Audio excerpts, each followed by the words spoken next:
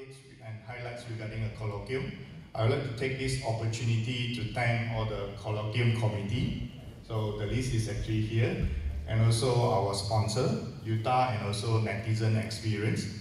Thank you for the sponsorship. That's why we are able to provide cash prize for the most like demo and also print uh, big banners and support others regarding the food and several other things. So thank you for the sponsorship from UTAR and also Netizen Experience.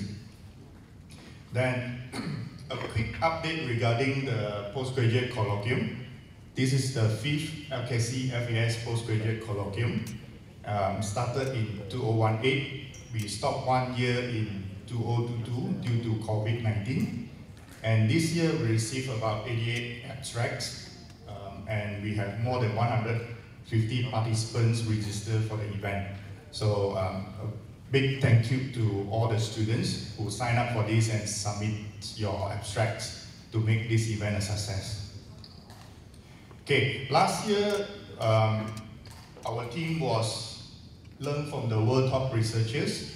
Then I invited top researcher from the US and some of the top 2% researcher from UTAR. And then this year, our team is actually what is next life after postgraduate study because many postgraduate students do not know what they can do.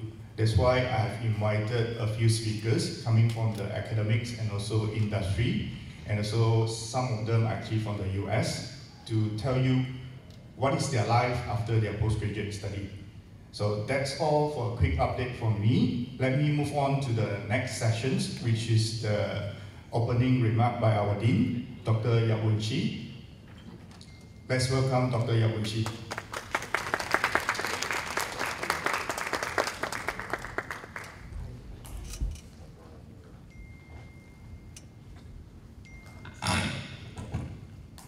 Okay, a very good morning to everyone. So first of all, I think thanks the introduction of the Dr. T. And uh, I want to take this opportunity in order to thank the Dr. T as well, right? Without Dr. T, I think we cannot realize and uh, this uh, fit uh, postgraduate colloquium, right? And also thanks the help from the Dr. Ko and the Dr. Ng as well, right? To make this all happen. And uh, over the year, we can see that uh, postgraduate colloquium actually, uh, we can see the improvement from time to time, right? From 2018, the first time we have the postgraduate colloquium, I think we still remember is on the one of the first floor or the second floor. And at that time, we only have the maybe internal speaker. And, and in this uh, two and three year, you can see that we can have the more uh, established researcher in order to give the, the speech during the postgraduate colloquium. We have the external speaker and even the overseas speaker as well, right? And this year we can see that uh, we also uh, is a very interesting uh, theme, right? What is what you can do after your postgraduate study, right? Because uh, most of us maybe do not know what should we do after the postgraduate study. And also, uh, this postgraduate colloquium actually uh, give the opportunity and the platform to all of the postgraduate students in order to mingle around and know uh, your other friends in this uh, research world and maybe can motivate you for the multidisciplinary uh, research after this, right? And today we have a very compact schedule and I hope you can try to uh, involve in the talk and then try to learn from the, our industry speaker, right? Uh, I think their wisdom maybe will help you for the, the rest of your life as well, right? So I think that's all and thank you. Thank you, Dr. Yap, uh, our Dean, for the opening speech. Um, before I move to the first keynote speaker, I still can see that many students are coming in and some of you are still having a breakfast. If you have finished your breakfast, can you please move to the front? We're going to start our first keynote lecture um, as soon as possible.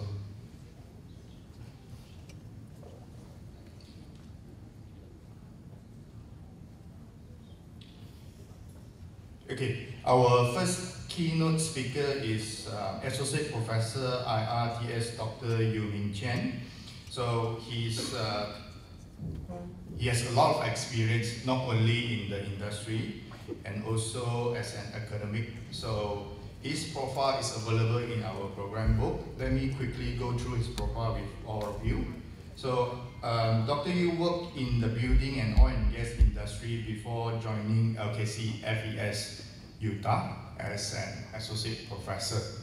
So his title for the keynote lecture today is Advanced Fire Protection, Materials for Smoke Extraction, Ductwork System and Electrical Cables. So without further delay, let us hear from Dr. Yew what is his life after his postgraduate study. Let's welcome Dr. Yew.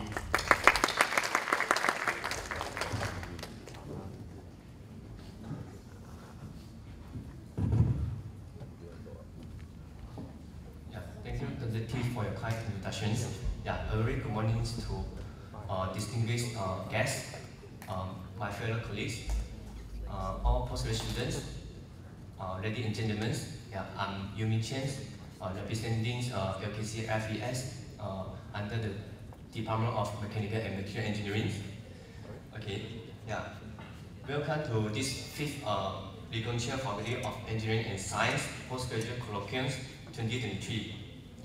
So first and foremost, I would like to express my gratitude to the University and Center for Sustainable Mobility Technologies for granting me this uh, opportunity to share my research experience with all of you regarding uh, this advanced fire protection material for smoke extraction ductwork system and electrical cables. Okay, the images uh, displayed on this slide uh, show the ductwork system protect us with this L1 fire uh, protection materials. And the next image show the uh, fire rated box to protect this cable using the post-op methods. And the next image show the electrical cables protected with all these L1 fire protective coatings. Okay, before uh, diving into this uh, topic, let me share, uh, share a bit uh, about my research experience with all postgraduate students here. Okay. So as a postgraduate students, yeah, as postgraduate students, we should have this nurture this growth mindset first. Yeah, before you start your research. Why? Because this growth mindset will enable us uh, to continue growing and build our own path to achieve remarkable milestone in your life after your postgraduate studies. So you can see here, uh, I have the opportunity to work as a process engineer and project engineer before in oil and gas industry and in the field of building construction. So this experience is extremely uh, highly uh, beneficial to my career today. So of course, uh, after I, yeah, maybe, maybe some students will ask what is a research engineer? Yes, maybe my PhD uh, study is a bit different as compared to all of you here.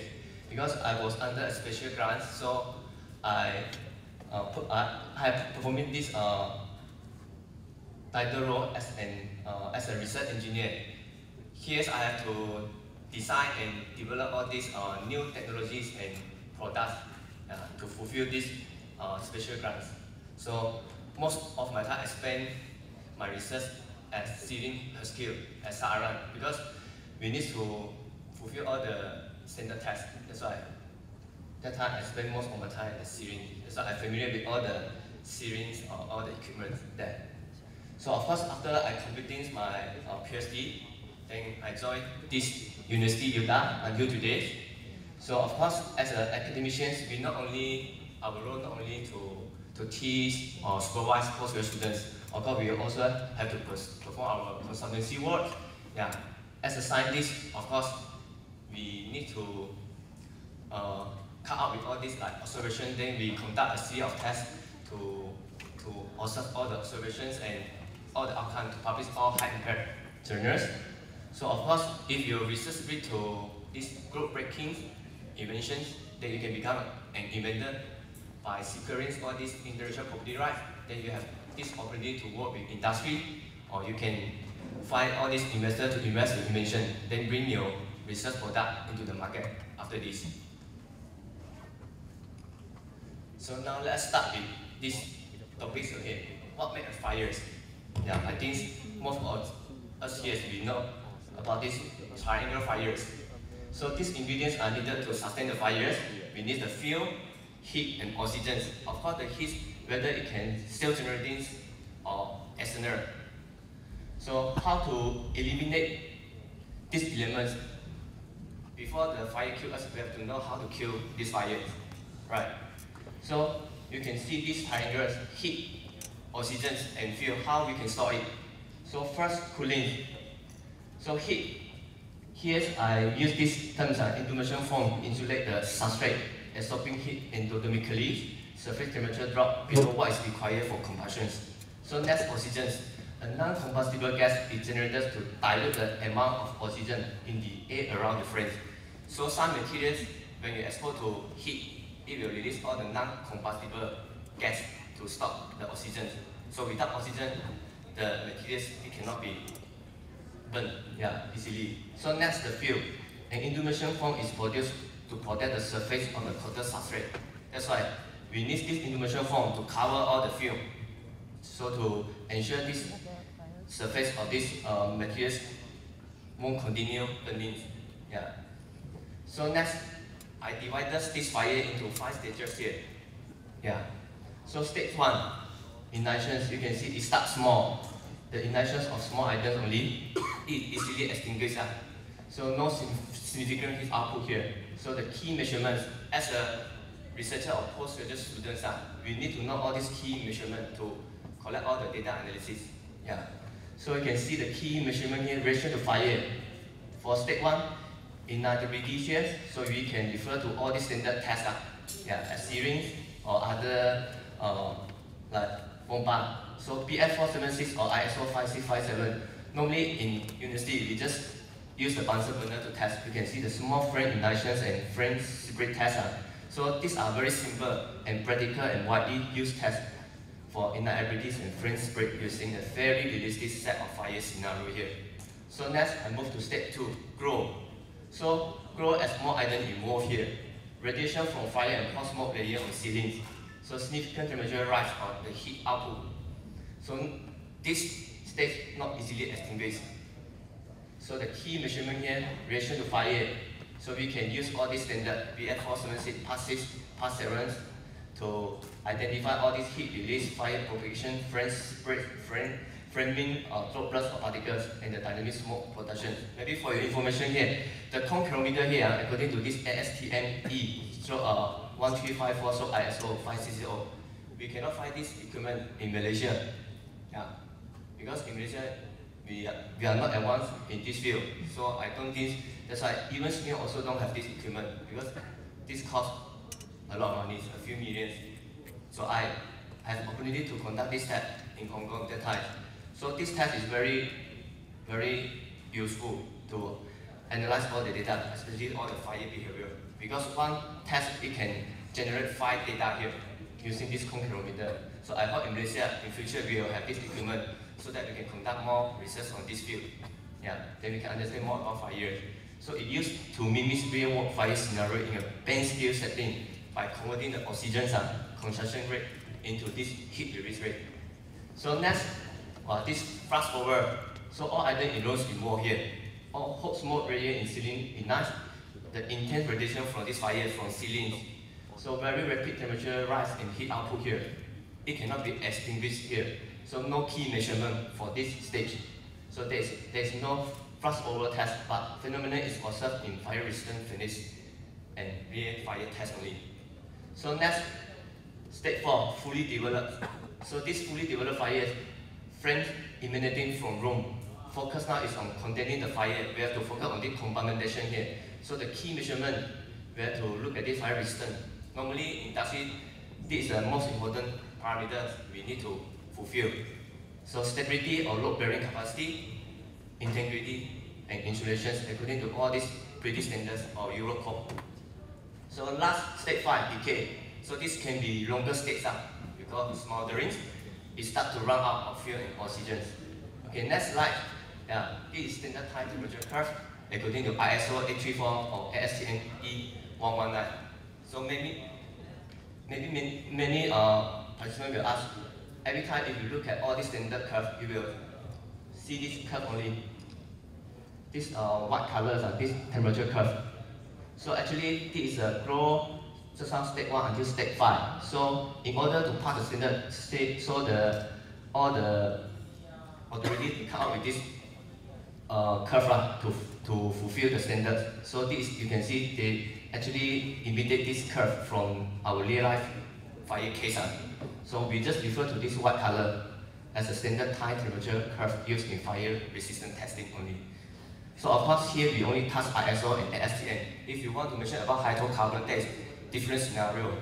Because hydrocarbons may be more a pool of oil like petroleum. So the heating rate here is higher than, than this white graph here. So of course, in relation to fire, just like I already mentioned, ignitability, flammability, flame spread, heat release, smoke, this under state 1 and 2. La. So state 3 is flux over. Normally, yeah, can reach up to 600 degrees Celsius. After that, fully developed here, you can see we have to consider all this stability, load bearing capacity of the steel structure or any uh, elements. Then compartmentation here, integrity and insulation. Then state 5 is decay. So this graph shows us the overall about this from state 1 until state 5. So next, what is, yeah, today I want to highlight on this uh, advanced fire protection materials. We call it intumescent coatings. So this one part of my uh, research area. And how does it work? So this coating will expose to heat, so it will start to expand. Yeah, but at ambient temperature it look like normal paint. Yeah, like all the paint here. Yeah, without exposing to any heat, it just look like normal paint. When the temperature is 250 or 200, then it will start to expand. So it's often used as a fire protection system uh, in commercial and industrial buildings as it can provide extra layers of protection against the spread of fire in protecting our life and asset. So even this building, UTAR building also have to apply this fire protection coatings. If you notice you cut the car park or the staircase, uh, you can see all the duct uh, they apply using this intumescent coating. If not, all of us cannot enter to this building. So you can see, maybe I play these videos while. Yeah. So the purpose of showing this not only show the intumescent expand. So when we end the concrete, you can see at the back the concrete is exposed to heat. At the same time, this concrete later it will have this spalling occur, meaning like explosive. You can see the concrete later it will at the behind it will explode. So of course the concrete itself also have to protect using this intumescent coating. Yeah. So at temperature of around 200 to 250 degrees Celsius, a complex chemical reaction provide light insulation from this in, intense heat. So it undergoes rapid sublimations and extends several times. Of course, here normally if you refer to any description, it will mention 100 times to create a stable. You can see this is actually spalling just out the concrete. So no, normally in industry, they design this coating, the expansion rate is about 20 to 40 times only. Why? Uh? If you say 100 times, actually it's not practical when it comes to applications. You know why? If you burn, yeah, the substrate in this this one, of course it can adhere or stick on the substrate. Let's say now we apply on all the ceiling, all the duct, due to gravity effect.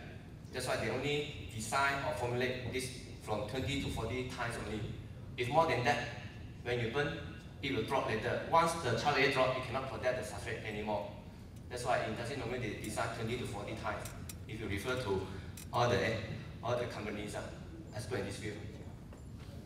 So next, so what are the benefits of using this fire intumescent fire protection coating here? So it provides a highly effective fire protection solution for the buildings. So versatility here, it can be used on a wide range of surfaces, uh, including steel, concrete, and wood.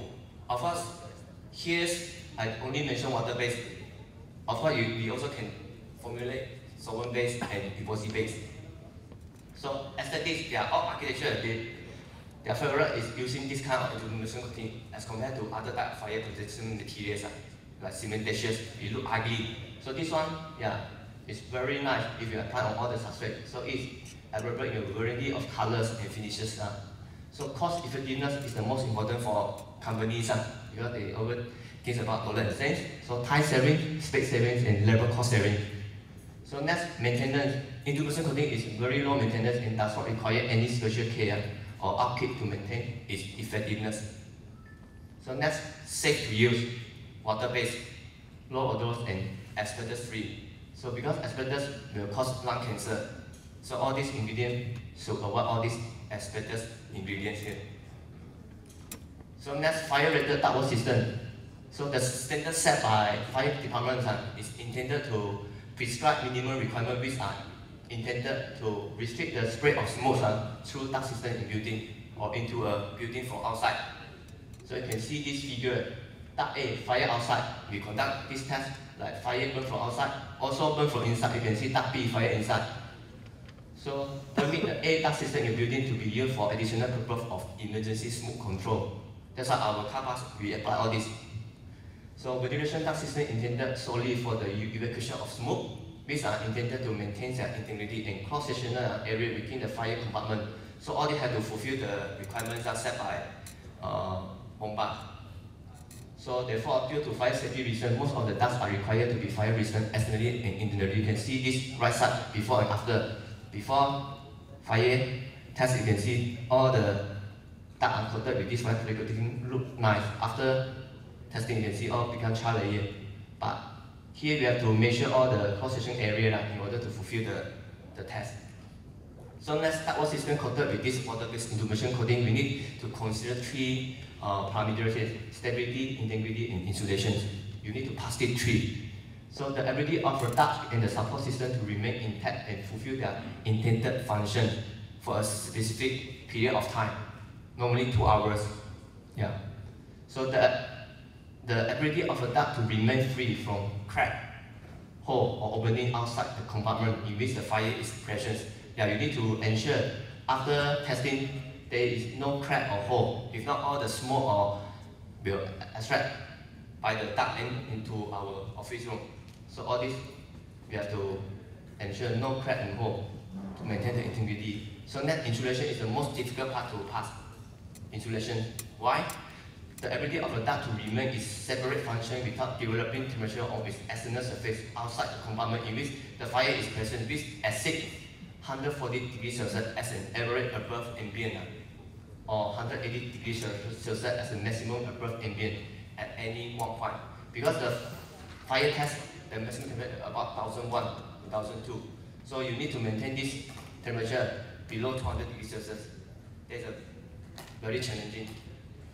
So smoke extract system must retain at least 75% of the cross-sectional area in according to this BS 476 part 24. If you refer to Eurocode, it's 90% difference, more stringent. But in Malaysia so far, we just uh, follow this BS 476 part 24. But the ceilings, they are really ready to conduct the Eurocode. They are ready, but it depends on industry. So the design of fire resistant ductwork of all types is described in all these BS 5588, Part 9 and BS 999 in various sections. So next, is all the standard specs uh, for this uh, intumescent coating applied on this duct system. Duct system required coated with fire-rated intumescent coating. Here you can see all here. I list out nine, actually more than nine. Just out, list out all the main uh, system requirement here. As mentioned just now, fire-rated ductwork will be fire-rated for two hours and shall maintain stability, integrity, and insulation as per BS 476 Part 24. Some industry, they once refer to Australian standard, yeah, they have to refer to AS 1530.4. So restrictions of duct due to buckling uh, after fire test will not cause up to 5% or more of reduction in cross-sectional duct area. So next, the ductwork will comply to DW144 duct construction methods, uh, like all the NNE. So next, the fire protective materials will be class 1, surface spray of frame and fire propagation, propagation as defined in BS 476, part 6 and 7. Yeah, because just now we refer to the uh, P measurement, right? The, the second stages, uh, yeah, you need to fulfill this one first. If you not under this class 1, means the material itself can burn easily, then yeah, we need to control from starting first. So next, the fire protection coating shall be environmentally friendly, like certified and water-based. Why we cannot use uh, solvent-based or epoxy-based for our air conditioner duct system? Normally, this, uh, uh, this aircon they already installed in the building. So the applicator they only apply, yeah, like do painting. So make sure the paint have all these safe to apply. If you use solvent-based or epoxy-based, all these will cause lung cancer. Yeah. So here they also need to certify. So next, all necessary supports and other accessories such as sealants and gasket required for this completion of fire-rated ductwork seal comply to manufacturer test report. So all installed ductwork will be certified by the manufacturer upon completion. So fire-rated ductwork seal follow the latest code of practice of fire-resisting construction and approved by Fire Service Department of Bomba. Fire protective coating should not be acidic and not attract pet or rope or support the growth of mold. So next, the manufacturer will provide warranty for a period of years on the performance of the duct. Maybe some of you will ask, how many warranty the manufacturer can provide for this kind of insulation coating? 10 years. Can last 10 years, but suggest to the and condition. This type of coating you cannot export to rain. For indoor only, then it can last 10 years. Uh, will you die here? How many already? 2015 until now, about 9 years. The coating still there. Yeah you can check at car park. Already nine years. So the manufacturer they normally provide 10 years warranty. So next we talk about fire resistant cable according to the requirements for fire resistant characteristic here. So of course the fire resistant cable are categorized by a letter symbol here. So let's say you see CWZ here. So C means fulfill the requirement 950 degrees Celsius for 3 hours. W resistant to fire with water. Of course all these tests, yeah, they will conduct the fire test at the same time they will spray all the water Next, resistant to fire mechanical shock, then they will use the tool to knock all this cable to ensure it can maintain all the integrity, means no circuit, yeah. All this, yeah, make sure all the current still or, or function.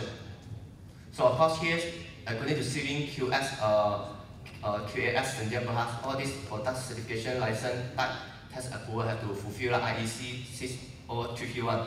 IEC stands for international uh, electoral uh, uh, technical commissions and IEC have to follow this one. Even our Bomba also have to refer to this IEC 60331 or 60332 or BS 6387.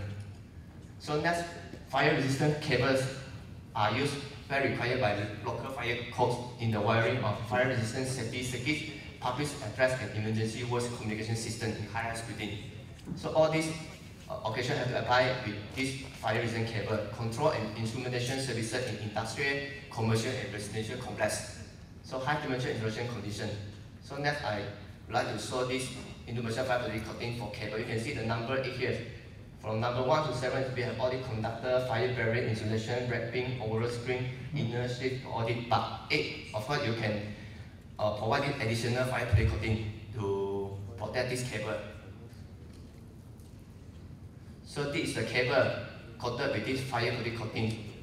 So the industry they also conduct this uh, test lah, just Bunsen burner test to observe this uh, uh, coating whether can expand, fulfill all this uh, char layer to better dense or uniform. So uh, after you burn, you can see they still can scratch the surface of the char layer. Inside still have this original insulation coating. So actually all this can last very long, very long when exposed to fire. So they spread all this char layer, then they keep burning. They still can expand, yeah. So maybe we move to next slide. Yeah, I would like to take this opportunity to promote this event. Yeah, physical events are one-day workshop on standard test method for fire test of building, construction, and materials organized by IEN and MATD. Yeah, so this event, I think maybe only once in two years. Yeah, for those who you want to know more about fire, test, and all the standard, then these two speakers are Mr. Hanafi and Ms. Sarifa. They have more than 15 years of experience in conducting all the standard tests at SIRIM. Then they can share all this. So this program will start from 9 to 4.30. All the, you can see the fire resistant testing standard and regulation, they will highlight on this delivering misconception fire resistant tests and their end-use application. So of course you can see this, the special of this workshop, we will conduct this testing demonstration, real-life test. The same staff, they will choose one of the company or industry, their product, to test and let all the participants to see, to observe the real-life test here. Yeah, that's why not easy to organize this kind of workshop. Yeah, it needs to communicate with our industry. Yeah. So of course the registration fee here for students member are 250. Yeah. So with six PD points here. lah. So if you want to know more, then you can email the Miss Amira at iem.org.my or contact the city C037968100012. Yeah. So as we know, fire prevention is very important. So, yeah. Bear in mind, it only takes one accident to start a fire. So don't let the fire ruin our life and assets here. So everything fire safety, stop fire before they start. Yeah. Thank you for your attention.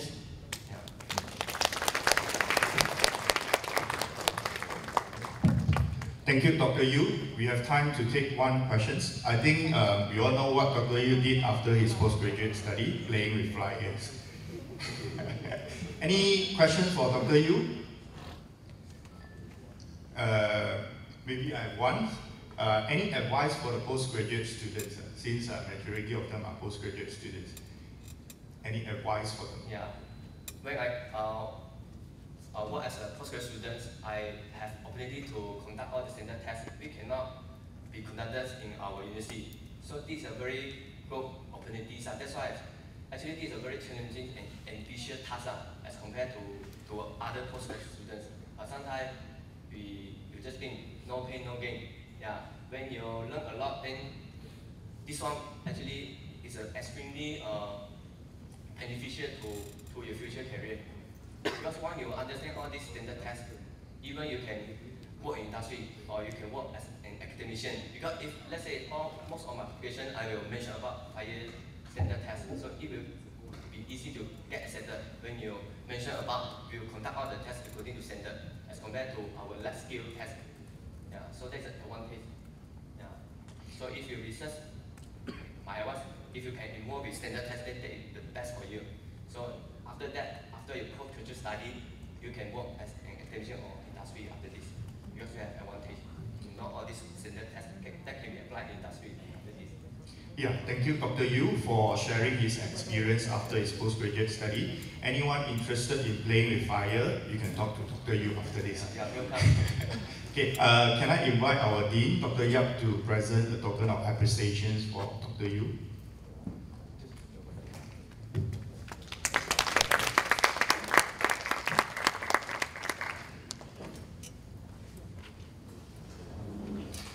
So for all the participants here, if you have any questions for the next few speakers, we have two microphones uh, next to the chairs here. You can actually walk to the microphone to ask questions.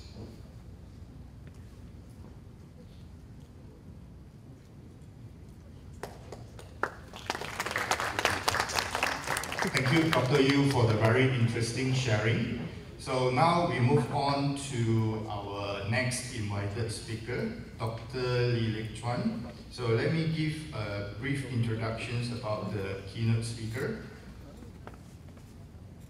Um, he's online now, he's actually in the US, so we will do this via Microsoft Teams. So, hi Lik Chuan, can you see us? So let me turn my screen. We are actually in a lecture hall with a lot of postgraduate students. Let me off my.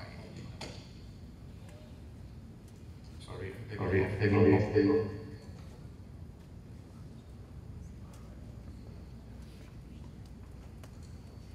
Hello. Okay, sorry, sorry for that. So we are actually in a multi-purpose hall with a lot of postgraduate students in the big hall now. So let me have a quick uh, introductions regarding Dr. Lik Chuan's profile, and then we will pass the stage to him. Okay, so Dr.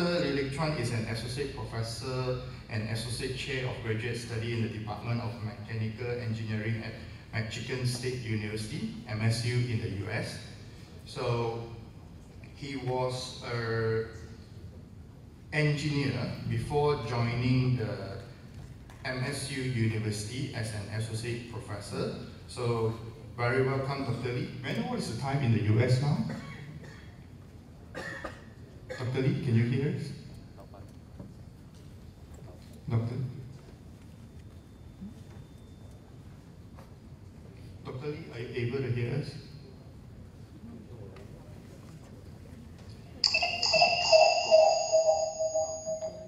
Okay, uh, never mind. Uh, let me just go on very quickly regarding his profile, then I'll pass the mic and everything to him. So his keynote lecture today is his journey from a mechanical engineer to a cardiovascular researcher in the US. So he has spent some time as a mechanical engineer after his postgraduate study, and then he moved to the US to continue as an associate professor.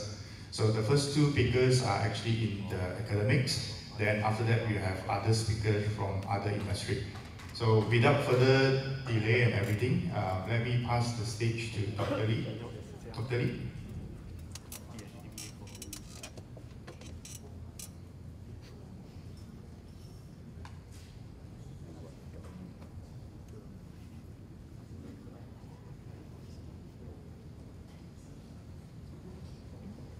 Dr. Lee, can you hear us?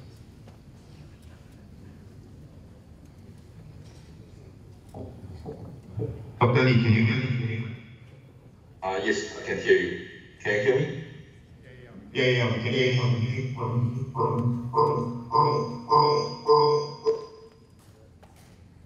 Okay.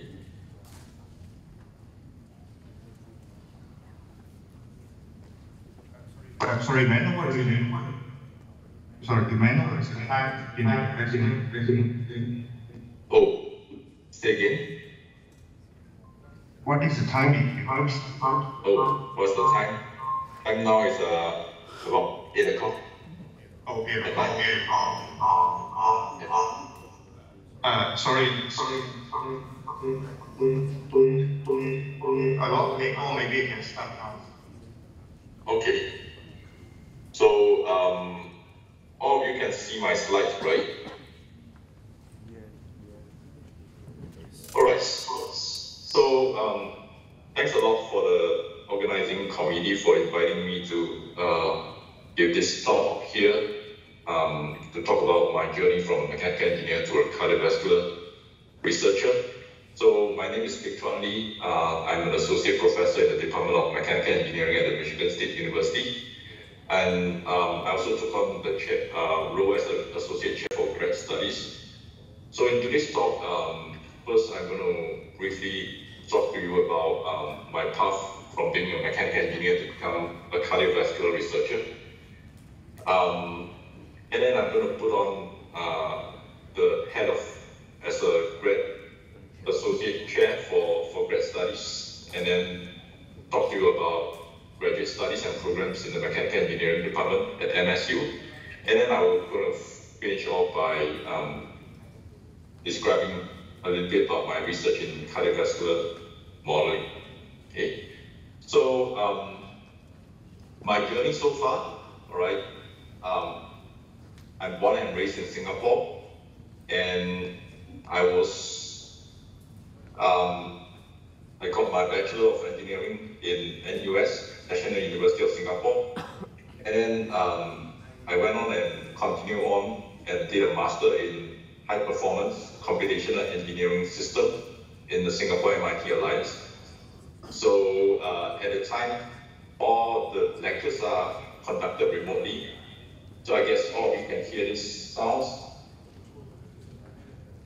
And some of you may recognize the sound. So that was in the past when uh, we were still connecting to the internet by um, a 56k modem, right?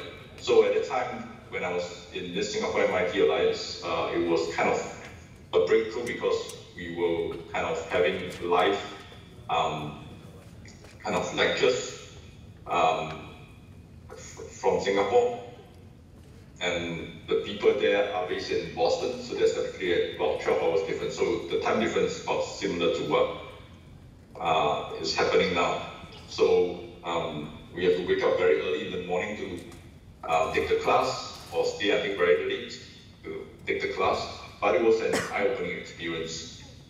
And then after that, I went on and to the industry and spent a year in Philip Electronics um, working as a quality engineer. So at the time, I was uh, working in the division where we were designing um, LCD television. So that was also a new thing at the time. Um, in the past, the television used to be a box. It's huge. But nowadays, um, you no longer see those television around. And um, a lot of those television are now flat screen. So that was um, kind of a new thing. But then I feel that life get a little bit mundane. So um, that's when I decided that I want to pursue a graduate studies. And doing that at the time will require some planning. So that's when I started to look for other opportunities and end up as a research officer in Data Storage Institute.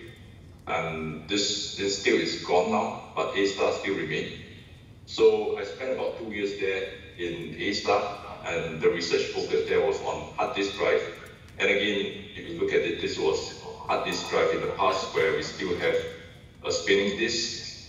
And then at the time, my research there was mainly on the mechanics part of it. So what we are focusing on on this reading arm is to kind of um, look at how we can improve on the design of this reading arm so that it has a high natural frequency so that we can get a faster read-write response. Um, and then it's also that time I was preparing for graduate studies, uh, taking GRE and um, writing um, all the personal essays uh, in preparation because I was considering pursuing graduate studies uh, abroad. So I was fortunate enough to be accepted to do a PhD uh, in Berkeley, right? So I end up in uh, from Singapore to California, that's in the West Coast. And then my research in Berkeley was focusing on um, modeling grain boundary sliding in viscoelastic materials, in polycrystalline solids actually. And the whole research topic is motivated by seismology um, because the information that we get from the model of grain boundary sliding can be used to infer um, seismic wave propagation. And if we are able to infer seismic wave propagation, we can use it to understand um, the materials in the deep layer of the heart. So that was um, kind of the research that I did when I was in Berkeley. Um, so it took about four years for me to finish my PhD, um, but I would say uh, it's one of the best, best experience I have when I was there because I learned a lot of new things and um, actually um, I also took a lot of class. So typically um, the course curriculum there requires you to take um, at least 13 classes and a majority of those classes have to be outside of the department. So I took a bunch of uh, classes in the math department. And then after that, um, I stayed in the West Coast and just uh, crossed the bridge to San Francisco and did a postdoc stint at uh, University of California, San Francisco. So um, it's kind of a campus in the city. So over there, what I was working on is largely computational modeling of the heart.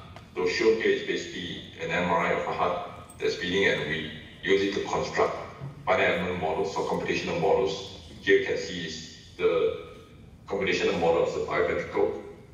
So I spent four years there. Um, so it's a big um, step jump or a steep learning curve um, coming from researching on traditional mechanical engineering topics to moving into life science. So I spent four years there, uh, largely to learn about cardiovascular physiology, cardiovascular mechanics, and then after that, uh, I took a faculty position in Michigan State University, so I moved from the West Coast to the East Coast, and then, which is where I am right now. So I spent probably this will be my ninth year here in MSU, and my research continue on from what I did from my postdoc because I find that it's very interesting and it's highly interdisciplinary. So uh, we have expanded a lot since uh, what I was doing from postdoc, and we're focusing on cardiovascular multiphysics modeling. So uh, that, in a nutshell, uh, is my journey so far. So um, research so far is great, exciting, and fun. All right, which I'm going to talk about more later. But basically, my focus of the research is um, on computational modeling, and so computers form the central part of my research. But then I get a chance also to work uh, together with, um, for example, clinicians, experimentalists, and then we also do a lot of uh, fun stuff. I would say experiments uh, using animal models we have pigs models as well as a rat model, which I'm going to show you some example later.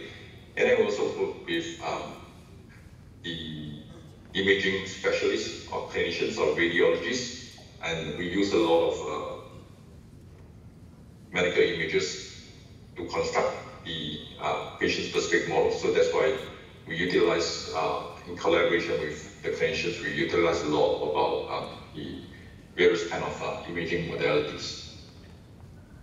And uh, life in Michigan is also good, except that it's cold, right? It can get really, really cold.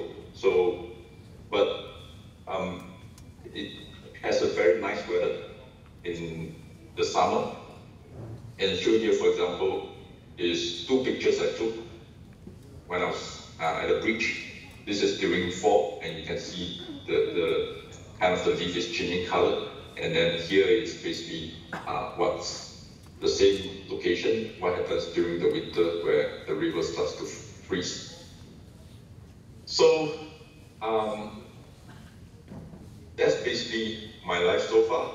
And now I'm going to switch a little bit to talk about uh, and grad studies and programs in the mechanical engineering department at MSU. And then following that, uh, I will talk about my, my research so um, I guess a lot of you here are already pursuing graduate degree, so I shouldn't spend too much time convincing you uh, why you need to pursue a graduate degree. So I'm going to go relatively fast and on why one want to pursue a graduate degree. And the primary reason I think is that technology is moving at a very fast pace now, becoming interdisciplinary so there's a need to catch up. And essentially, that's what I feel, um, given the kind of research that I'm working on, that research has become very interdisciplinary now. For example, I'm working together with um, clinicians, I'm working with experimentalists, I'm working with data scientists, and I'm working with physiologists. So that field becomes very broad, so we need to have a way to, to catch up and pursuing a graduate degree uh, can help you to do that. But what I think is an important thing that I get out when I was doing my PhD is um, the training on how to learn to think and problem solve independently. So I think this is a kind of a soft skill that one can out of a PhD. I think it's a very important one, and at least is at least is equally important as picking up the technical knowledge you get from the PhD, because uh, you can apply this uh, kind of um, skills in, of problem solving to in any aspect of your life. And of course, um, the um, another reason why you want to pursue grad studies, well, you get a higher salary after you graduate, right? So you can see that if you are in the you are in the engineering, right, comparing the starting salary to that of a bachelor um, is significantly higher. And there's more career option actually also because a lot of uh, R&D companies um, locally or abroad in the US are looking for PhD um, students or PhD um, of candidates who have a PhD, right? So um, introduction about MSU. So MSU, Michigan State University, is the first land grant university, and it has 17 degree granting colleges, and engineering is one of them. So it's a very large university, and large in terms of the number of people. So the current enrollment stands about 50,000 students. And then um, large also in terms of the, the space. Um, so the, the, the, entire space of the MSU is uh, huge. And in the College of Engineering, we have eight departments, mechanical engineering being one of them, but we also have other departments, traditional departments like civil engineering, chemical engineering, electrical engineering. And we also have uh, newer kind of uh, departments like biomedical engineering, which is one of the newest one, and also the computational mathematics, science and engineering department. And the enrollment for the engineering college is about 6,000 undergrad and 900 graduates. And in the mechanical engineering department, we have about 40 faculties, about 1,005 undergraduates, and close to 200 graduate students. So in the ME department, we offer two kind of, uh, we offer Master of Science and also we have offer PhD program which typically takes four to five years. So we admit students to the PhD program uh, with a bachelor or those students with a master degree and depending on what level they are admitted and then uh, the number of coursework credit is uh, going to be different. But the key thing I want to point out is that students admitted to the PhD program in MSU in the departments are usually supported financially by a combination of teaching assistantship, research assistantship, and, and fellowship. So I think that's something uh, kind of what is um, typically found also in a lot of universities in the US. So why pursue a grad degree in mechanical engineering at MSU? Uh, first is highly interdisciplinary, as I'm going to show you in some of the research I'm working on, and also together with my colleagues. And then we also offer a wide range of advanced courses covering fundamentals and latest technologies. And we do have a lot of uh, young faculties who are energetic and passionate about research. And as I mentioned, financial support uh, is available for most PhD students. In fact, it covers almost the entire duration of the, the PhD studies, and this includes um, travel fellowships, to attend conferences. And there's excellent career prospects, so our grads typically will secure jobs in the industry or academia. Some of those industry companies are, like for example, Dow Chemical.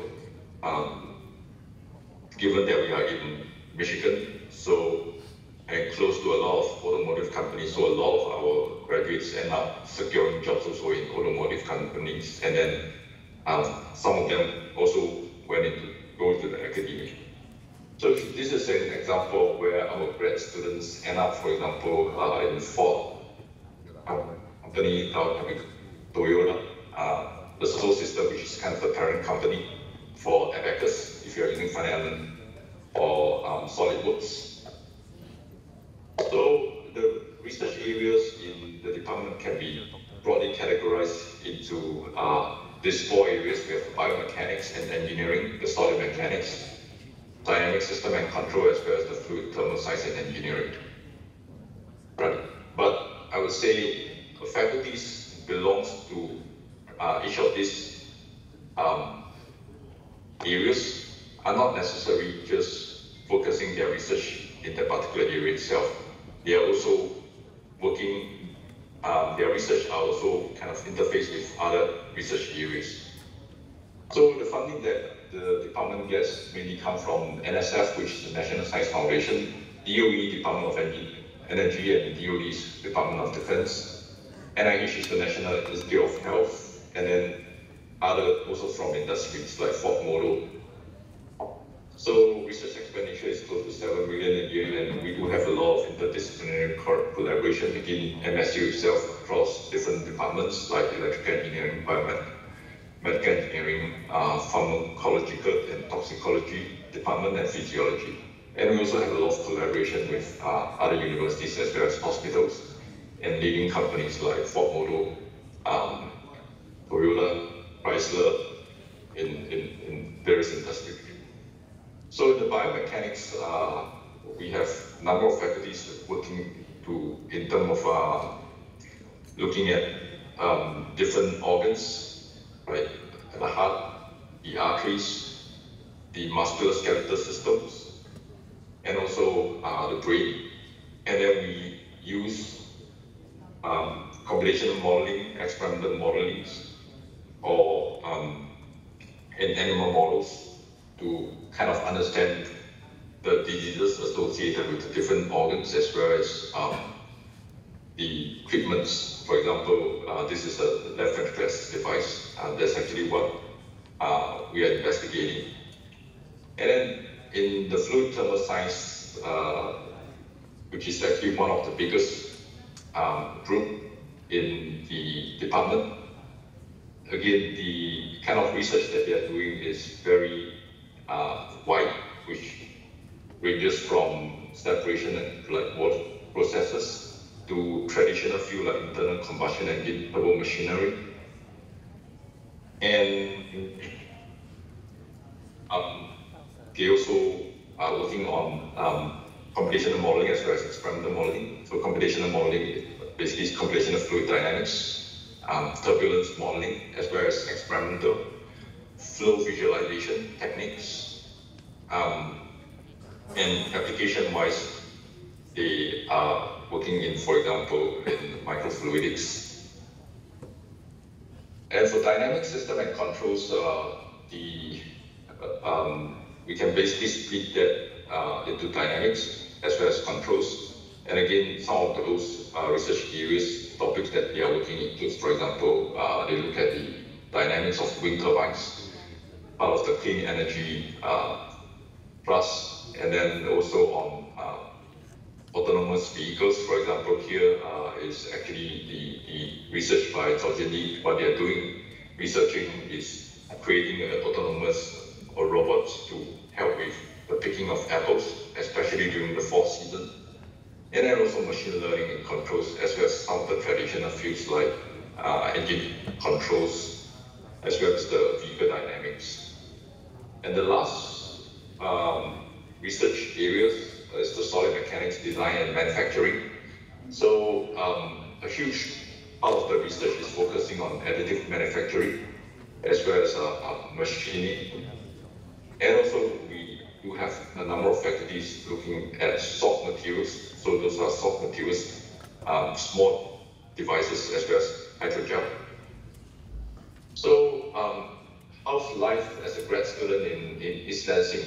Well, um, busy, I would say, because the students, uh, besides working on research, they will be attending class and they also be teaching.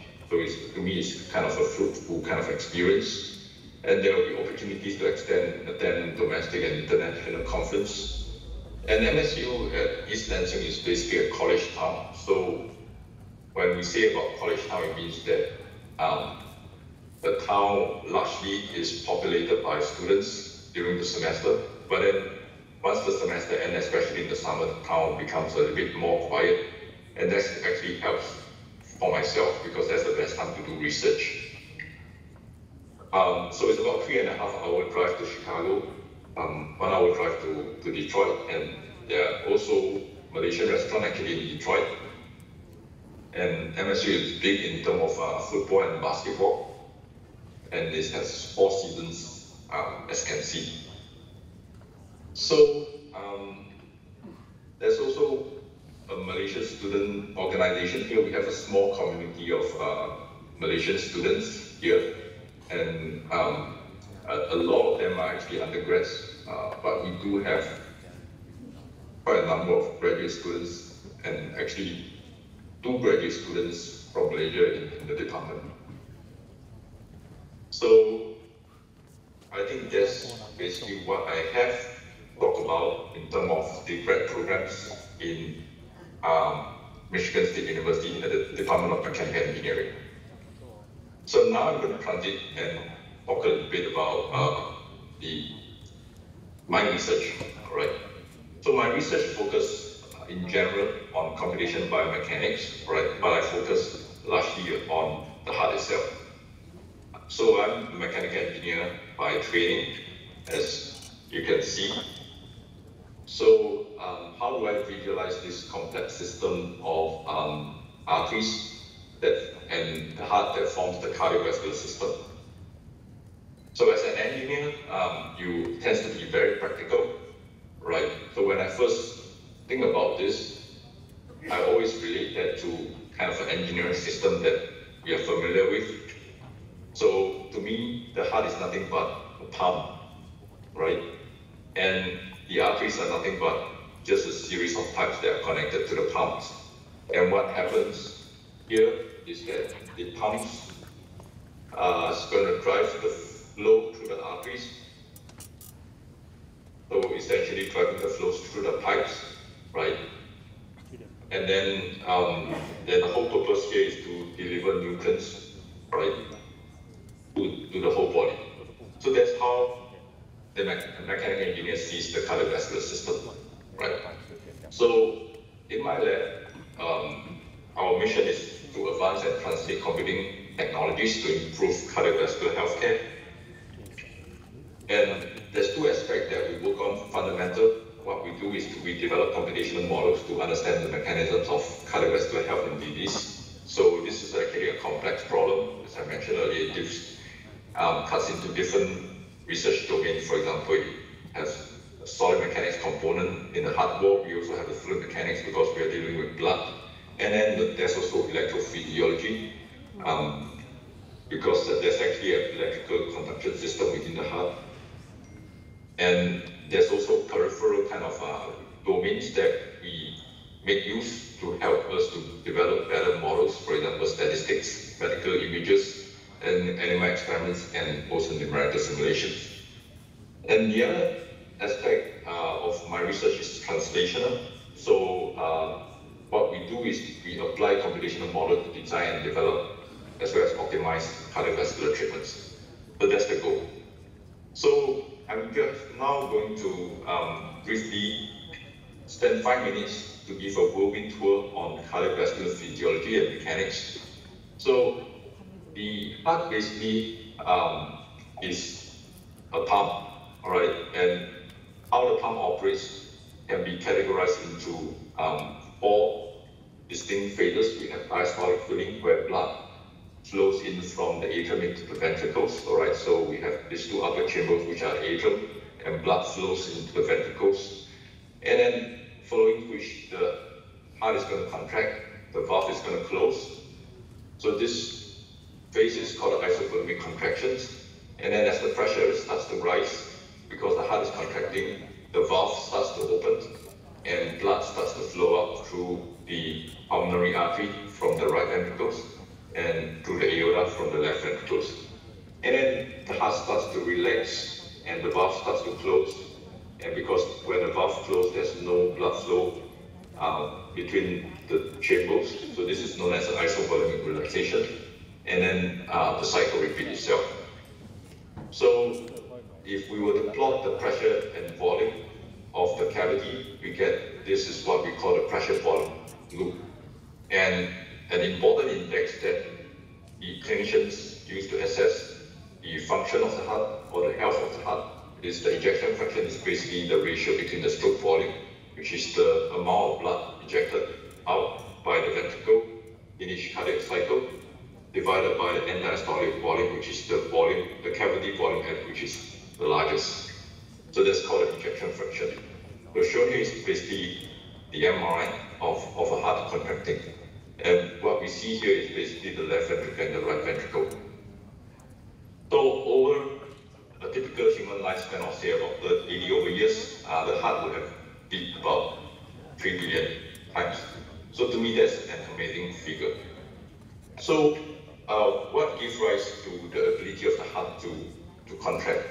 So take a closer look at the heart wall, uh, we can see that the heart wall can be categorized into three distinct layers. We have the epicardium, which is comprises of the elastic fibers and also the coronary blood vessels that supply the nutrients to the heart itself. And then we have the myocardium, which is actually the middle layer, which forms the bulk of the muscles of this heart wall, and it comprises of the muscle fibers and the collagen networks. And last, we have the endocardium, which is basically comprises of largely small muscle. And one of the uh, unique feature about the muscle fiber is that they are oriented in a helical structure, as you can see here. That is imaged using a technique called diffusion tensor magnetic resonance images that allows us to visualize how the muscle fibers are oriented in the heart wall. And you can see that muscle fibers are oriented in, in a helical structure and that allows the heart to actually twist as it's contracting. And this twisting is supposedly um, allows the blood to be more effectively pump up to, to the systemic and to the pulmonary circulation. Next, uh, we talk about coronary vasculature. So the heart needs nutrients, and that nutrients comes from the coronary vessels, right, and it comprises of the arteries, the capillaries, as well as the vein. So shown here is actually uh, an experiment that we did. So we take, this is actually a red heart. What we did is that we take a red heart out, and then we perfuse that coronary vasculature with a radiopaque uh, materials. It's called Microfil. And then once we put it into the CT scanner, we get a nice structure of the um, coronary arteries or coronary network in the heart wall, and we can actually reconstruct the coronary tree. So as you can see here, the vessels are largely embedded in the heart wall. So um, that's going to produce a strong interaction with the heart wall because you can imagine that when the heart muscles are contracting, it's actually squeezing on those vessels. And these arteries and capillaries and veins are responsible for the delivery of uh, oxygenated blood as well as also for the removal of waste from the tissue. And the vessels can regulate itself. So um, there's very strong cardiac coronary interactions which form the bulk of my research actually, where, for example, when you exercise, the myocardial is going to increase, and it's going to send a signal to the coronary vessels. That's called vasodilator signal, and as a result, the blood vessel is going to increase its lumen size, and more blood is able to flow through the blood vessels, and this helps to increase the contractility to meet the demand that the heart is required. So it's a very kind of a close, uh, you can view it like a control system, which um, again, based on active as a mechanical engineer. So showing is basically an experiment that we did this from a pig heart. You can see that the heart is actually uh, beating in a pig, right? And then this is actually from uh, a rat's heart, where we isolate that heart and then put it into a perfusion system. This is called a Langendorff perfusion system.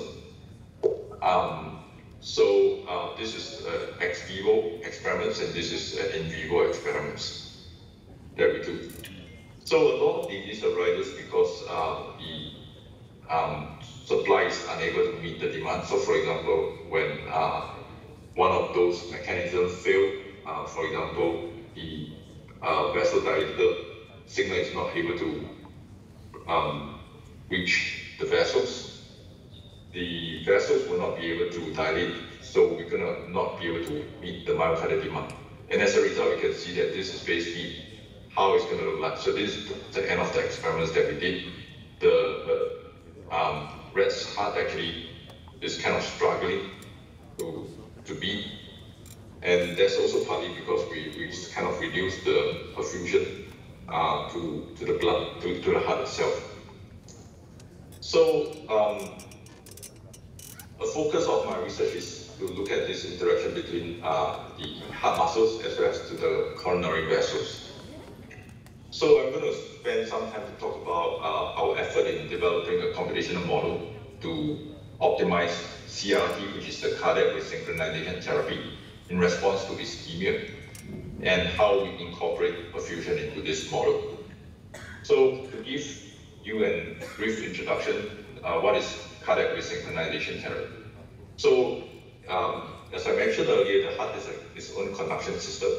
So when the heart starts to contract, it actually originated uh, with signal from the sinoatrial node to the AV nodes, and then through this fast Purkinje fiber system, which are fast conductive conduction network, and then uh, that allows the signal to propagate through the entire myocardium or the heart wall. So approximately one third of those uh, heart failure patients have left branch bundle block. So left branch bundle block essentially is an essential electrical dysfunction of the heart. So what happens is that uh, this the left branch of this fast conduction system is blocked. For example, uh, because of ischemia or because of uh, some other uh, disease, and as a result, the electrical signal is going to take a longer time to reach the left ventricle than it takes to reach the right ventricle. So what results is that it takes, on average, a longer time for this whole part to be depolarized or to be activated, and this results in large chloride complex. And this can also lead to mechanical dyssynchrony, meaning to say that the left heart is not beating in synchronous with the right heart so as a result, there's a lot of uh, mechanical inefficiency. And the cardiac resynchronization therapy can be used to treat this condition. But the problem is that 30% of patients don't respond to cardiac resynchronization therapy. So um, what we are trying to do here is to use a combination of combinational modeling, which you can see here. So the top panel here shows the activation pattern, and the bottom panel here shows the um, contraction of the heart. So we're going to use the combination of modeling as well as experiments using big models, uh, which include measuring the mechanics as well as me measuring the electrical uh, signal in the heart to try to understand the treatment response mechanisms as well as to optimize the treatment response. So uh, one unique feature that has been ignored uh, in previous consideration of CRT is perfusion. And what we hypothesize is that perfusion is actually an important factor for treatment response. And actually, there's a saying in the electrophysiology world that they beat, don't beat. So what we did is we include perfusion, basically the flow of the coronary blood into uh, our completion model. So you can see that this is the element model just of the left ventricles. But in it, we have coronary vessels that are embedded here. And then this coronary vessel is connected to the larger systemic circulation network. And this are basically the kind of the three multi-physics that we model, electrophysiology, cardiac mechanics, and perfusion, and they are all coupled with one another. So what we found is that without ischemia, um, the optimal pacing location. So when the clinician goes in and pace, they can decide on where they want to put the pacemaker, the, the, the pacing lead.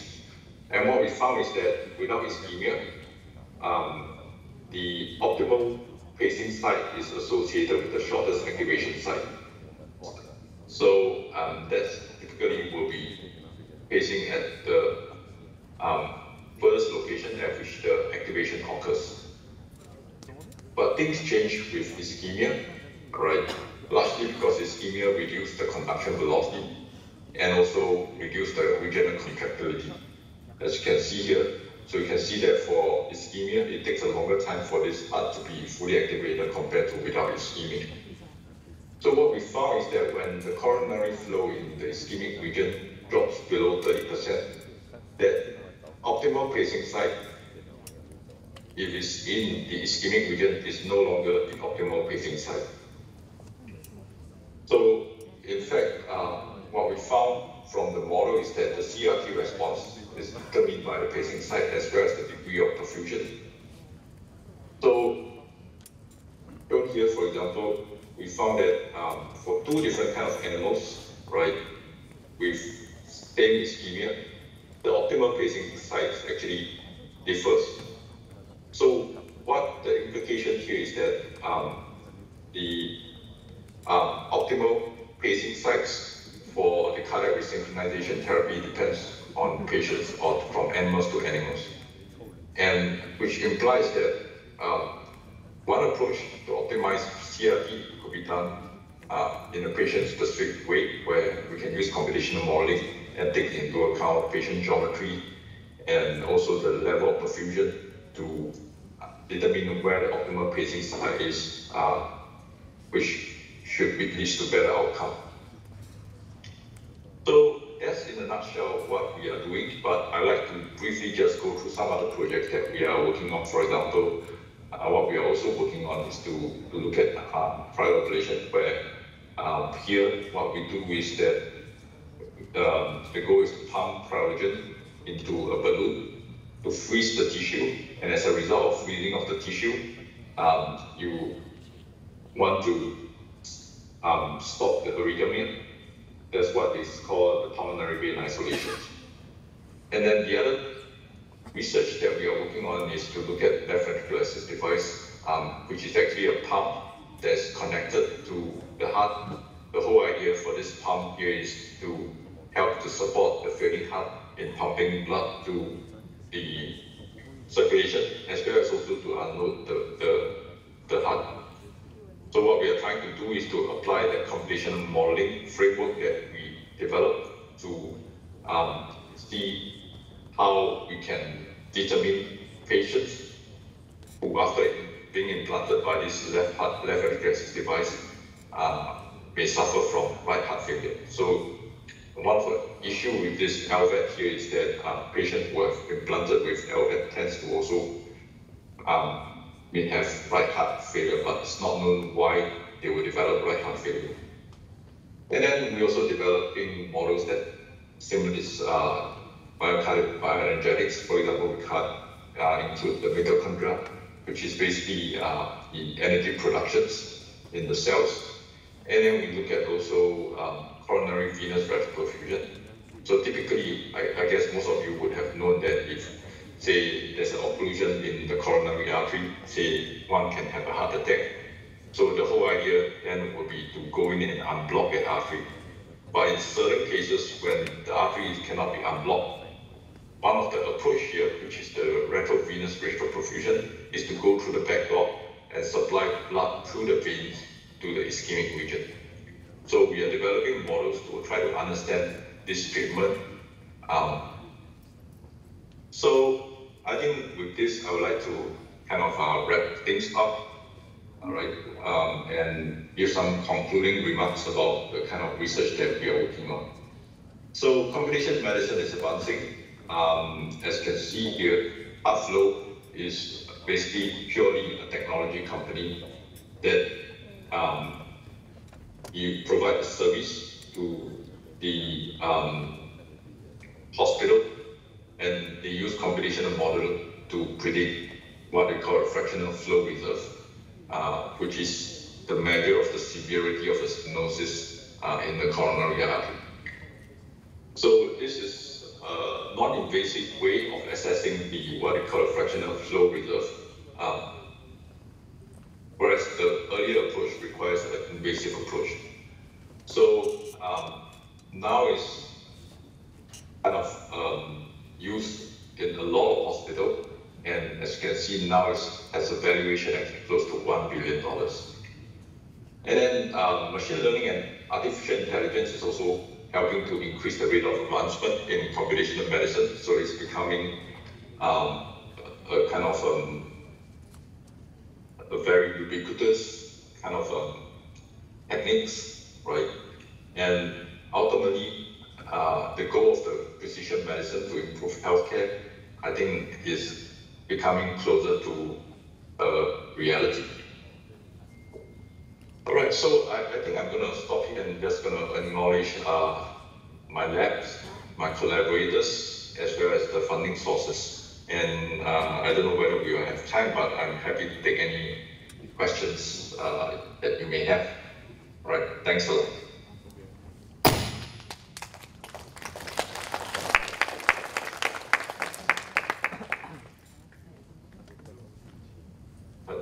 Which one? Can you hear me?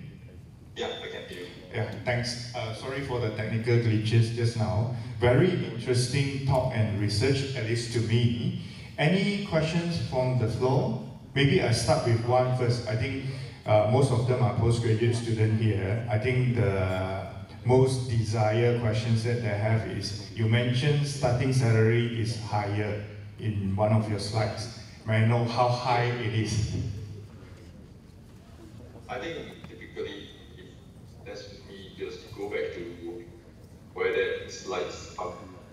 So I got that data from uh, a recent publication. Um, so can see how much that salary is higher compared to, so there you are, right? So typically, at least seems to me that the starting salary for bachelor is about 70K.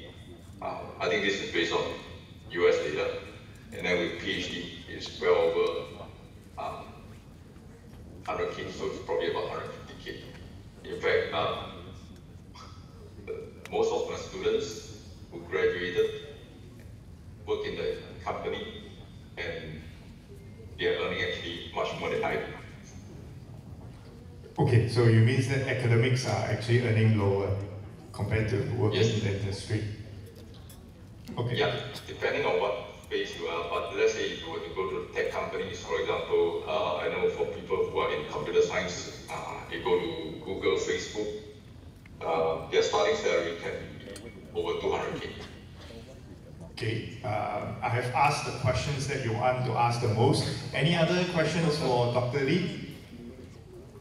He's actually uh, in the US now, so uh, may I know what is the time now? Sorry. Now is um, 8.50, so we are 13 hours different. 13 hours difference. So uh, Yeah. really appreciate your time at night and talk to our students. Any questions from the floor?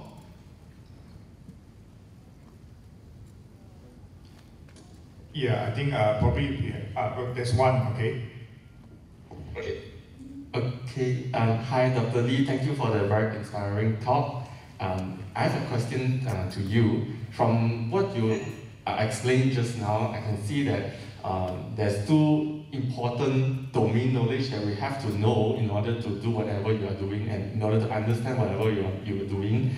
Uh, the domain knowledge of the intensive uh, uh, medical knowledge of the uh, human anatomy and physiology, and also the domain knowledge of the engineering to do all the computational modeling. So which one is more important in order to start up or kick in kickstart an experiment that is similar to what you are doing now?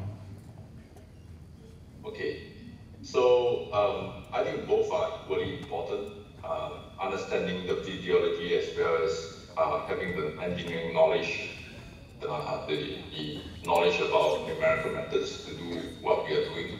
So I think both are, are equally important.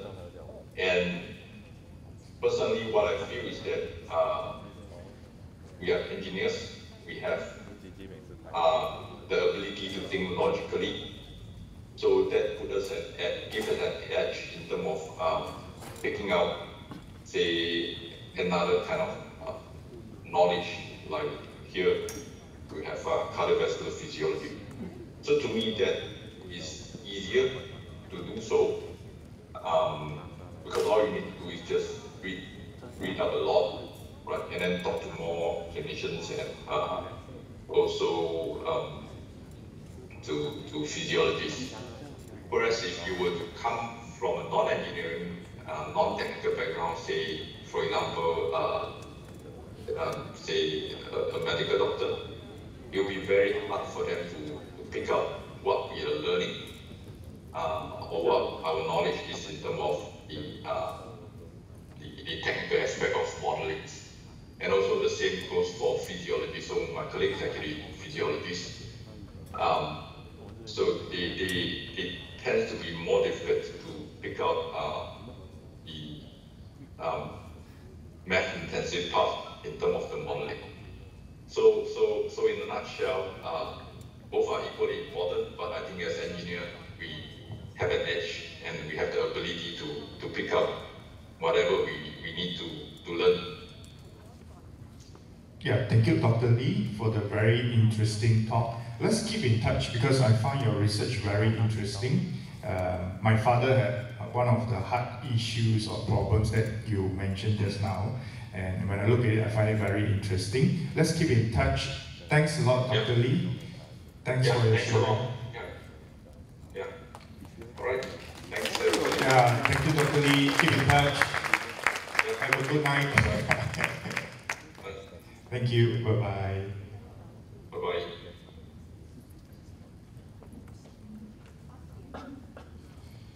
Okay, uh, we will move on to the next keynote lecture. This one is actually from Dr. Teh Kuen Tat. So he is actually coming from a different background. So he has a PhD, but he worked in industry. So he's keynote lecture title is My Professional Journey as a Farming Equipment Engineer at John Deere. Uh, Dr. Teh will talk more about the company, just to let you know a little bit about his background. So he did his bachelor degree in mechanical engineering and then did a master degree in engineering mechanics. After that, he has a PhD in engineering mechanics, but he doesn't choose a career path like uh, the previous two speakers and some of our lecturers here. He actually decided to work in the industry. So John Deere is actually one of the largest farming equipment manufacturers in the world. So without further delay, let me welcome Dr. Teh. Dr. Teh, the stage is yours. Uh, thank you, for introduction and for inviting me here to give a talk to the young postgraduate student, uh, engineering student here at UTAR.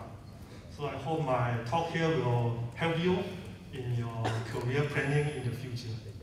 So my, uh, the topic of my talk here is my professional journey as a farm equipment engineer at John Deere. So who is John Deere? So John Deere is a brand name for the products made by the company called the Deere and Company. So it is a multinational manufacturing company based in Moline, Illinois, USA. So it is a 186 years old company it was founded by a blacksmith, just one person, blacksmith shop. So right now it has uh, 82,000 plus employee worldwide. So like Dr. Dean mentioned earlier, John Deere is the largest, currently the largest agricultural equipment manufacturer in the world. So in the latest ranking of the global 500 by the Fortune magazine, it ranked 268. So for comparison, the only one corporation listed in the list in Malaysia is Petronas, and Petronas ranked 139. So this is just for the comparison.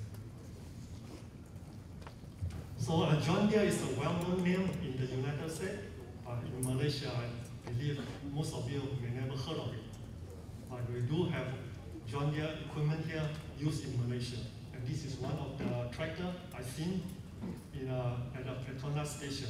This is the Negeri Sembilan, because in Negeri Sembilan there are many FELDA plantation, so they have used a John Deere equipment for their planting. So if you look at this model, on the left hand side you see 50, 55.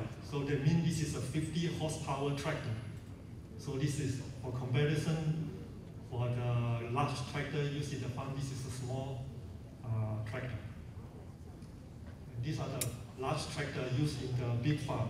For this one, the typical horsepower is in the range of 500 to 600 horsepower. So it's 10 times more powerful than the one we see uh, at the Petronas station. So what we do, what are these tractors used for? So you can see they are throwing some uh, equipment doing the field job. So this equipment like the tillage equipment. This is for loosening the soil to prepare the soil for planting. So if you look at the operator, you can see on the left top corner, you can see the operator kind of facing the side of the vehicle. They are not looking forward. So all this equipment, they are all has a computerized control. It has the navigation or the satellite navigation. So once the operator set the boundary of the field, the machine will automatically run the field uh, by the guidance system. So the operator just need to monitor the machine operation and to see all the, plant, the plowing at the back is done properly. And then this is the tractor towing the seeding equipment. This is for planting the seed in the ground. So this one, you can see this equipment can plant 25 rows of crop and one, one pass. And this one, when you go to the end of the field, it will turn around and and has a very precise uh, planting next to it, so it won't overlap or have a big gap in between.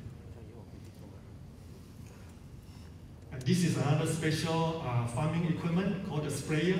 This is for spraying the fertilizer or the pesticide or herbicide.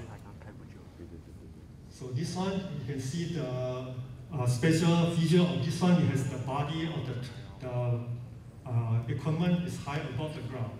So this one will be allow it to go over the crop which is grown taller.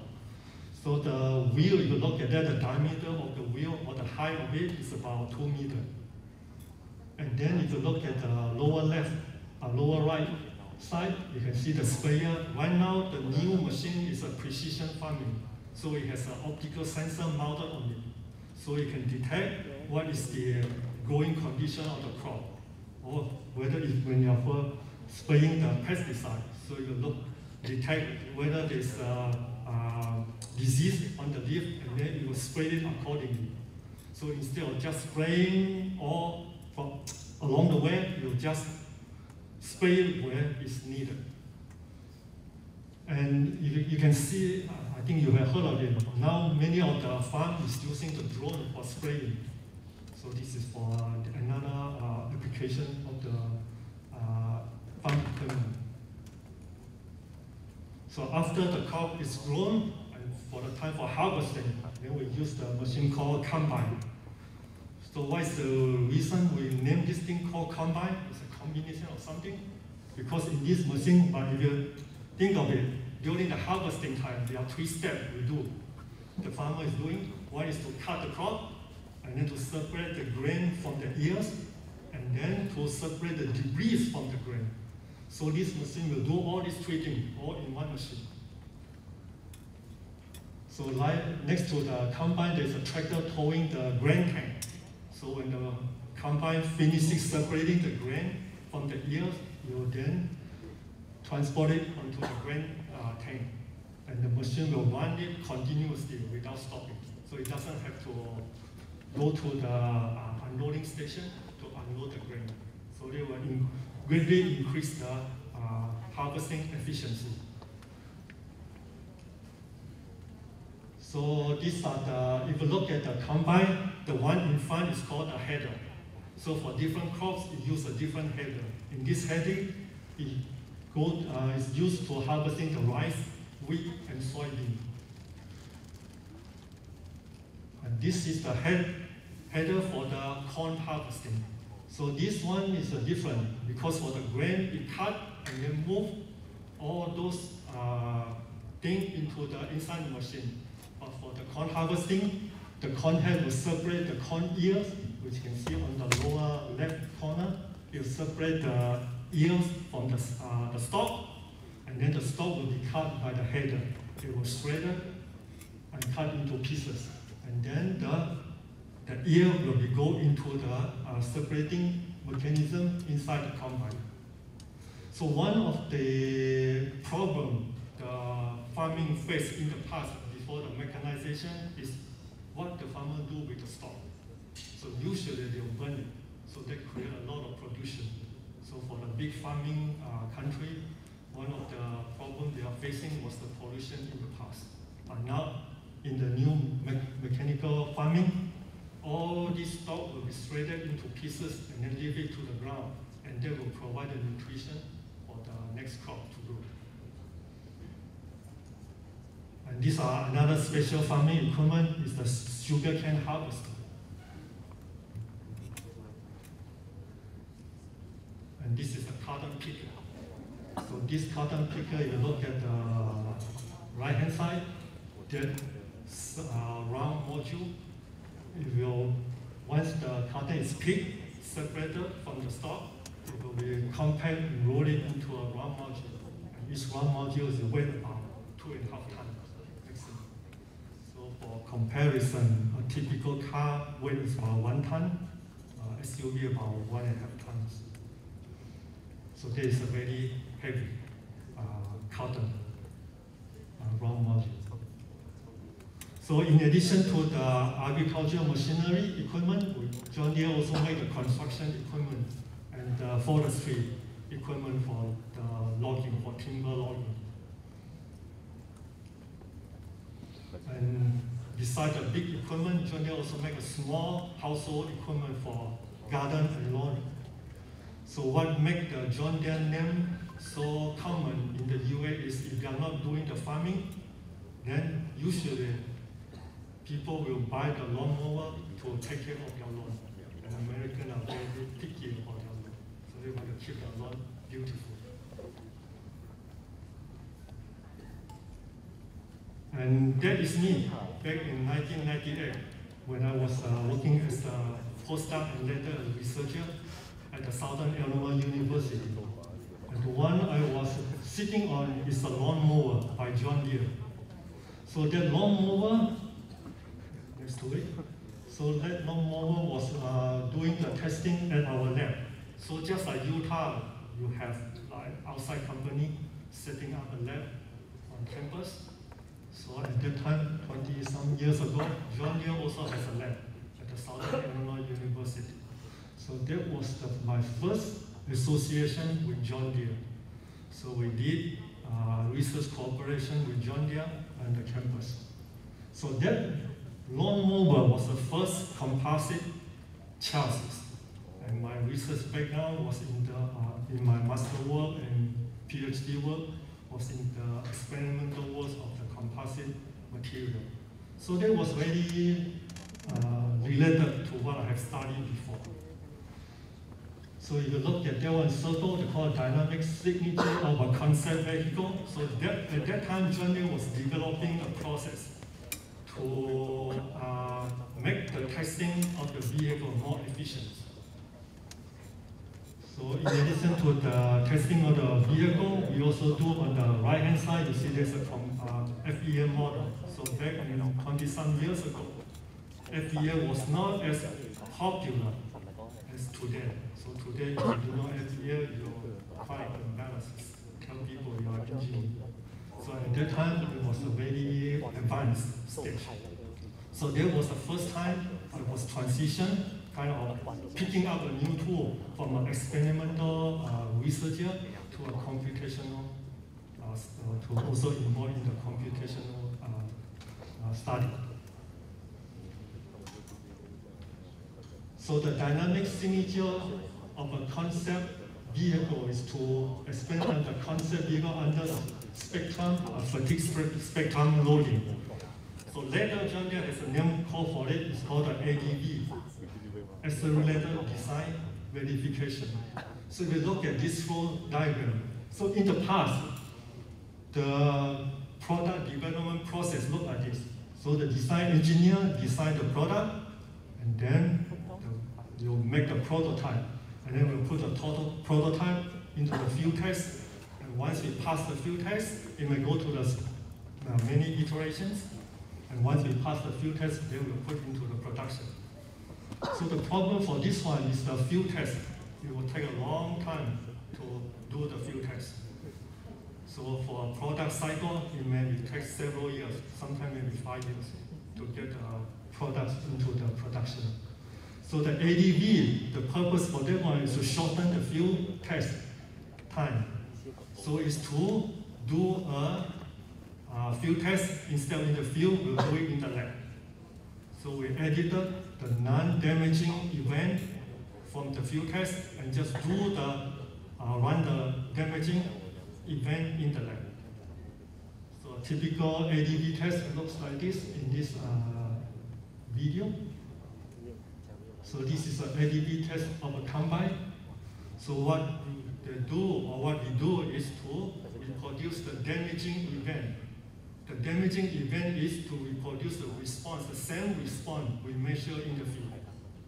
So then we run the test up to the design level and then to monitor the damage in the machine. So we see the damage, and then we have to stop it and then we design and then build another prototype and run the test again. So when uh, doing this uh, testing, when we collect the data from the field, we mount the strain gauges in some critical location in the frame. also the accelerometer, and also the load cell in it. And then in the lab, we reproduce the same response. So there is a, a certain procedure here the engineer will do to reproduce those events. So those uh, ADV procedure was implemented during the 2000, so around 2000 to 2010. And then at that time, we had joined the John Deere. I joined John Deere in 1999. So at that time, we were developing a new process called the duty cycle analysis. So what is the duty cycle analysis? So if you look at the, the second row, the ADV, when we run the ADV, we still need to make a prototype. And the prototype costs money, especially for the combine as big as that one. So the duty cycle analysis is to do the virtual ADV test in the computer. So without making the prototypes.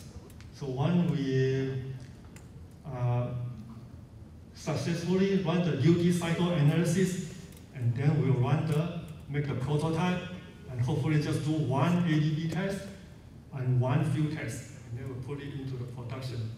So in this process, it will save the money and save the time. So it will greatly reduce the uh, design uh, cycle time put the product into the market. So what is the, what we do in the duty cycle analysis? So we start with the CAD model, and then from the CAD model, we do two analysis. One is the multi-body dynamic analysis, using the load, external loading. So this one, we there are many MBD uh, software out there, but at that time, we were using the Adams. And then on the, on the parallel path, we do a FE model. And then from this uh, analysis, we combine the result and then run uh, duty cycle analysis. So at that time, and even now, we use the MR, nCode Design Life software. So how we do it? So in the duty cycle cases, we run the, the several events. So those are the events determined by the design team. So those are the more like a damaging. When we say damaging, it's the fatigue damage in the structure, in the frame. So usually the cracking in the frame start from the fatigue uh, damage or the fatigue crack initiation. So there is a process or procedure to use the strain life history to do the uh, fatigue life calculation. So these are the, in the highlight in yellow are the six events. Uh, at that time we were running the pilot project for that one. So each event is about 8,000, uh, 800 seconds, so it's about 13 minutes. So this is for the multi-body dynamics. So in this vehicle, uh, in, this is a lawn mower. So it's a small machine. And that was the machine we used for this pilot project at that time. So the main uh, emphasis for this one is in the chassis or the frame of the structure. So they're uh, using the dynamic analysis, multi-body MBD, so the machine will run over a terrain. So those terrain was predetermined to generate the damaging uh, event in the frame.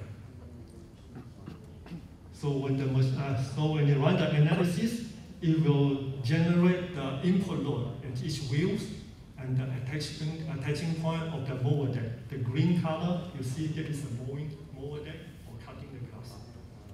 And that mower deck is attached to the frame. So what we are looking for here is the forces and the moment and each attaching, uh, uh, attaching point. So if you look at the, on the on the left hand side, you see the title FX. So that one is the, you know, I think it's in one of the wheel front, front right wheels. So we measure, uh, calculate the forces, uh, wheel axle force in the X, Y, Z direction, and also the moment in those three directions. So, and then to generate 800 seconds of the load time history. So this is the FEA model. Because we are only interested in the frame, we don't care about the wheel and also the mower deck. And then we just need to have a proper uh, weight or mass on the structure. So we just use a, a block, square block to re- represent the seat, the material collecting system, just to proper weight distribution in the model. So these are the FEA model, and these are the meshing of the FEA model. And then we run the FEA analysis using the inertial relief method.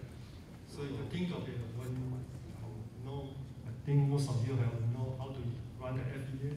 So you apply the boundary condition and then the load. But for this machine, because we are interested in the frame and the frame is moving, traveling on the terrain. So there is no fixed boundary condition. So we use a, there's a FEA in Abaqus. There's a method called the inertial relief method. So we use the mass of the structure as the boundary condition. We only apply the load at the loading point. So in this case, we have 10 external loading points, four at the wheels and six at the mower deck attachment. So at each loading point, there's a six degree of freedom. So it's uh, translation, which represent the forces, and the rotation, which represent the moment at each uh, loading point. So in total, 10 loading location multiplied by 6, there's 60 loading condition. So we apply, if you look at the, uh, for each one, we apply the 10,000 Newton load and 10,000 Newton millimeter moment. So we apply this loading one at a time. So we run 60 iteration or six, 60 runs of the FEA model to generate the strength tensor distribution of the frame for each load. So once we get the strength distribution in the frame, all we need is to scale it up with the time history we get from the MBD analysis. So we generate the strain time history in the frame for all these 60 load cases. And then we do the linear superposition to add all this up. 60 load cases and add it up to generate the combined strain time history of the frame. So we use the software, we call the input design line. So you just match the input load, time history with the uh, FEA result for each different 60 channel. And then at the end, you will calculate what is the fatigue life of each location.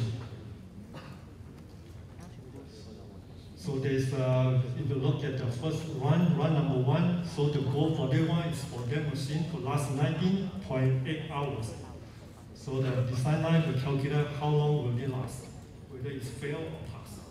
So from there, we go back and redesign the frame, improve the weak point, and run the iteration. So all this we run it without making a prototype. So once it satisfies the design condition, then we go ahead and make a prototype and do the field testing. Cycle. So in, when doing the MBD, the MBD, the accuracy of the dynamic analysis depends on the tire property. So in order to get the proper tire property, oh, this one is for doing a, okay. So instead of uh, running the MBD, we can also run the testing. So we just get a similar vehicle with the proper weight distribution and then measure the input load at each wheel using the wheel force transducer. So John Deere have designed and I also helped in uh, designing the wheel force transducer. You can buy the wheel force transducer from the market because in the automobile industry, there are many available. But most are for the automobile wheel. So for John Deere, we have a machine with a small wheel, and then for the construction or the sprayer, we, can, we have senior, we have two uh, meter high. So the transducer doesn't fit our machine, so we have to design our own wheel transducer. And this is me running a field test for the gator, and you see the stick from the, each wheel is a wheel force transducer. And I run this one in one of the freezing cold winter time. So it was, I remember this one, I won this one, the next day I had to fly back to Malaysia.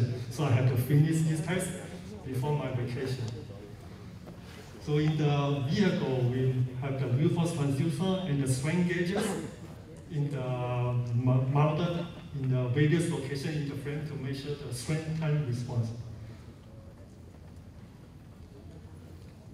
And for the, I mentioned just, just now, the accuracy of the MBD analysis depends on your tire model. So the MBD, the tire model is represented by the spring damper model. So in order to get an accurate result, you need to have the right stiffness and the damping property of the tire. So this is how we do the stiffness measurement on the right hand side. We do the vertical uh, stiffness of the tire, lateral stiffness. And then on the left hand side, we, we measure the damping of the tire. So if you look at the right hand side, the test frame is still small. But when we want to run the test for the big tire like sprayer tire, there is not enough. And I have tried to get an outside lab to run the sprayer testing for us. And unfortunately, at that time, we couldn't find one. No lab is big enough to test a big tire. So what we're going to do?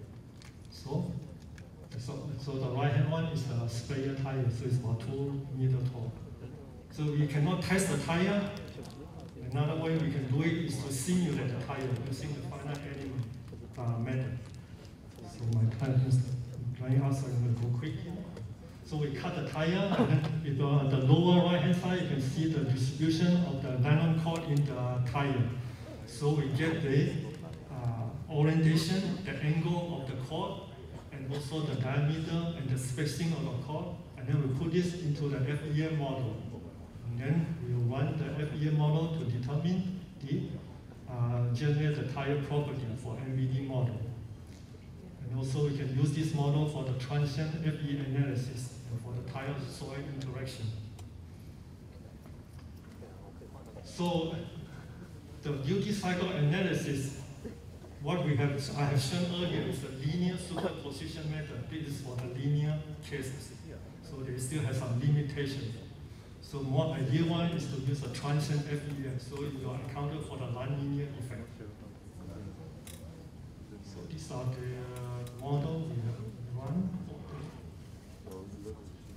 They're using the Abaqus explicit to run the uh, transient analysis. So it the full FEM tire model and then the full FEM uh, frame model.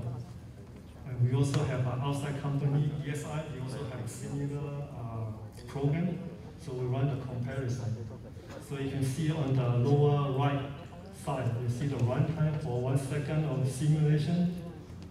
It would take about several days to run. So at that time, we were doing the technology development. It's not uh, useful for real life application. And even today, with the limitation of the computer, even using the superpower, a supercomputer at the National Lab, uh, the Lawrence Livermore, we also have a cooperative project with them. The time still take, still take a long time to do the analysis. So this one I just show a simple example for the tire soil interaction because our model is one for the farm equipment, not like a car. The car mostly run on the flat surface, hardened surface. But for farm equipment, we run on the soft soil.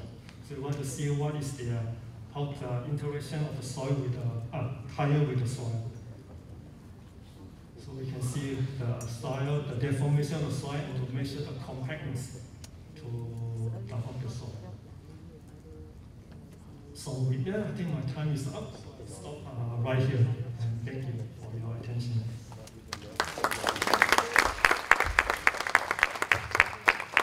Thank you, Dr. Dave, for the very interesting talk.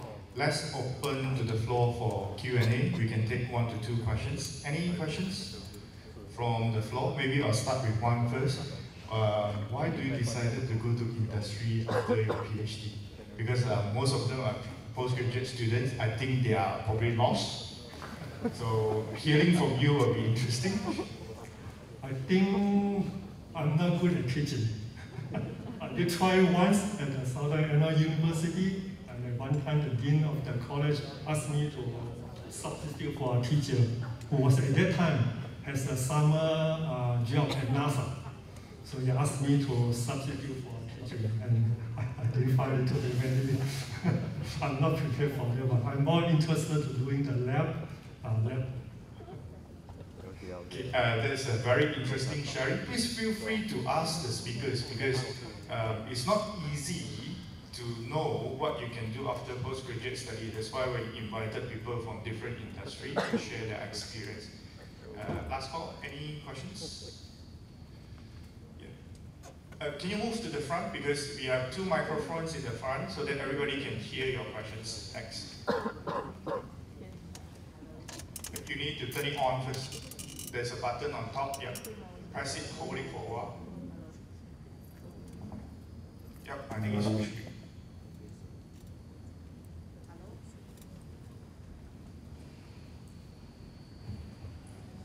Hello, can you uh, share with us what is your observation to the developments of the of the farming technology in Malaysia? Because recently we experienced the shortage of rice, and then uh, due to the um, the restrictions of the imports of the rice from uh, India, right, and then also due to the Russia and Ukraine conflicts, then we also have some uh, shortage of the crops and anything. So, do you have any experience or any observation on this issue? Thank you.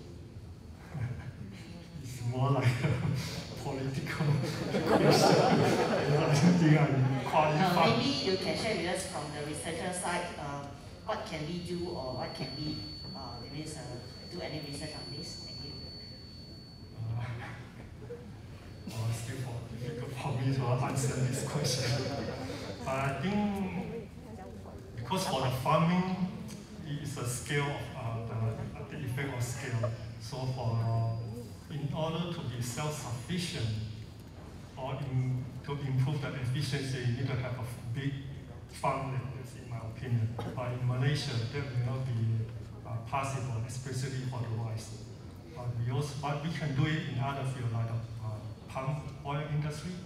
And I noticed that in this area, there still is a labor intensive to harvest the, the, the palm. So there are not much machinery used in this field. So maybe for you, maybe a good, uh, how we call the area to get into to, de uh, to design and develop uh, farming equipment for the palm oil harvesting. Thank you for the questions and thank you, Dr. Teh, for the very interesting talk. Uh, can I invite our Deputy Dean, Dr. Lee Kim Yi, to present a token of appreciation to the speaker, Dr. Teh?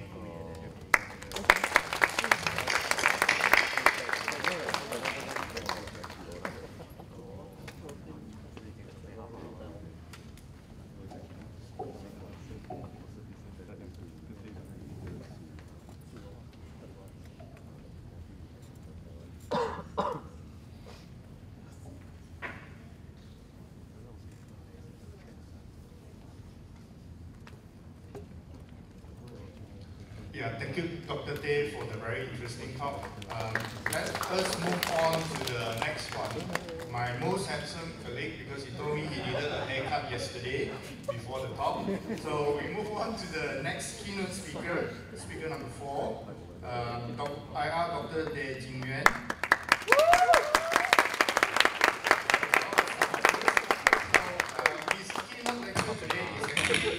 postgraduate to entrepreneur how I turn my passion into a business. So a little bit introductions about Dr. Tey Jing Yuen. He's actually an assistant professor at UTAR. Uh, he also has a very special role as the co-founder of a company in Malaysia called Solid Lab Sendirian Berhad. So without further delay, let me pass the stage to Dr. Teh so that he can tell us how to become the next millionaire. All right, good morning everyone. All right, so I think Dr. T had did the introductions. So you might think of uh, what will be your life after graduation. Have you think of the distinct question about you now pursuing your postgraduates? Do you think of uh, whether you want to work for people or whether you want to turn your passions into business as an entrepreneur or not? Anyone have this kind of crazy dreams or not? If you have, you already did. Huh? if you have, then you are great to join this talk, so I will share some of my personal experience. Might not be suitable for everyone, just my personal view, alright, solely personally. So probably it will help you in your futures. Hopefully it will help to you choosing your right careers after your graduations. Alright? So these are the contents, basically just are questions, whether you should start your own business after your completions of your graduations, uh, like Elon Musk or anyone that's famous. Basically, they don't finish their graduates, uh, they start their entrepreneurs. Uh, what challenges and opportunities you face as a new entrepreneur? Uh, how you leverage academic skills and networks to grow your business? And what advice and tips you have for the postgraduate students who want to become entrepreneurs? And how you balance your work-life balance as an entrepreneur? So these are the five questions. I think most of you might be very interested to know more details about this. So what is options? I mean, after your graduations, uh, probably I listed six of it. So the first one, you can do a postdoc at uh, other university other than University Tengku Abdul So of course, you can do the postdoc here also. Uh, or you can choose the option to find a job just like Dr. Dave needs uh, in John Deere's in the working industry. Or you can find a job in academic field like work in UTAR or work in anywhere of uh, universities as a lecturers. Or find internships, find a part-time job you are passionate about, or start your own business. So we give a quick survey. Like anyone who do option number one here, all the postgraduate, just raise your hand. Just do a quick survey. Only a few. Three. Second. Second options. Okay. Uh, about 10-20%, which is good. I think industry need you uh, in this kind of areas. How about number three? uh, university is a big problem. Nobody wants to be a lecturer now.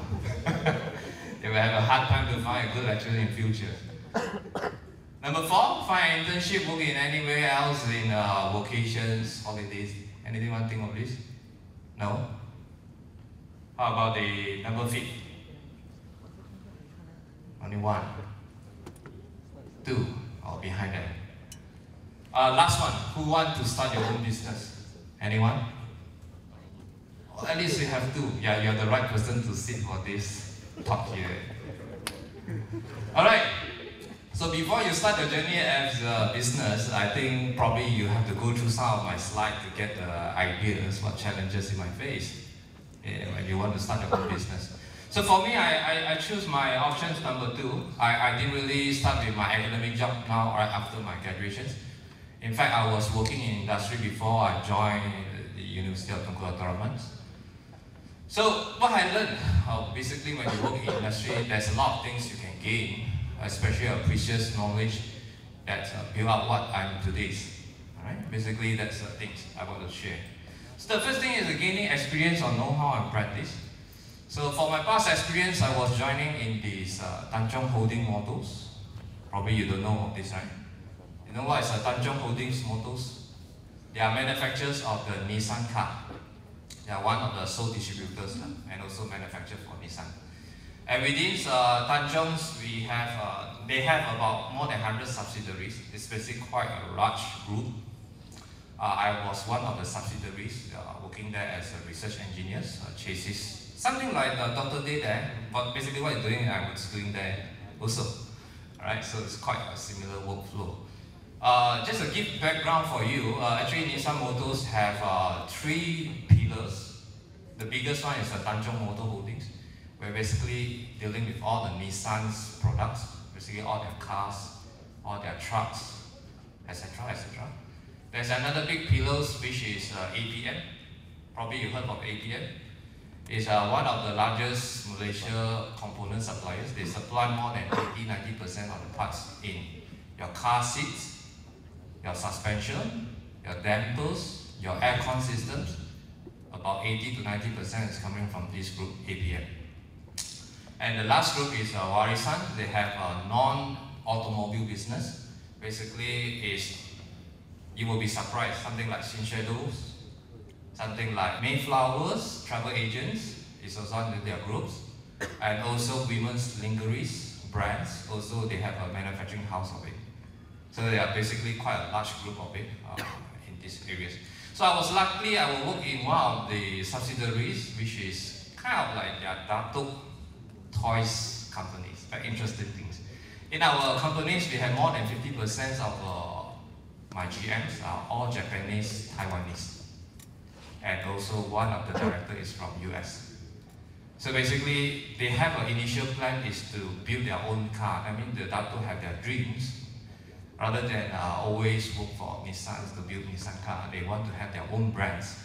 Right? So basically, it's something like, uh, if you know of uh, Taiwan Yulong Jituan, they are also one of the Nissan manufacturer, but at the end, uh, they bought over the chassis design from Nissan and they turned to become their car. Their car logo is something L. I don't know whether you you rarely see in Malaysia, but it's, it's overseas. So so happened because of their the, the datos have a relationship in the Taiwanese side, so they know what they're doing, so they try to plan this kind of business. So because of this natural uh, business, I have the opportunity to uh, engage in various fields. So because my superiors is uh, in uh, brakes experts, working 30 years, 40 years plus in the Mitsubishi Fuso. And uh, the other GM's colleagues are specialized in transmissions, uh, specialized in testings, specialized in crash testings. So there are a lot of uh, various uh, superiors, there are expertise in different fields, and they pay quite a number of uh, their salary. I mean, every year, few million of salary just for them alone. That's our many expenses for the companies. So because of this nature, I, I learned a lot from them. Basically, I know how to uh, culture of Japanese, how they run their business or how they run their daily operations very systematically. I would say super in terms of their documentation, how they run their meeting minutes, how they are supervising the coordinates, uh, right? And also more of a cultural difference between Japanese and Malaysian. they always keep on their times. Their, their meetings conduct very efficiently. So all these things are something you could not get in the university because of the nature of the university is to educate, educate uh, knowledge. This kind of uh, management skill, I would say, management skill or engineering skill set uh, that builds along with this kind of uh, natures is very precious. Because I met one of the engineers who specialized on the gear design. So you can pinpoint the failure modes huh, without really detailed analysis and just ask the engineers to go and run material composition. You just look at the composition. Oh, this element too much. Uh, you need to get material. This one looks small. It's the kind of knowledge level, you know.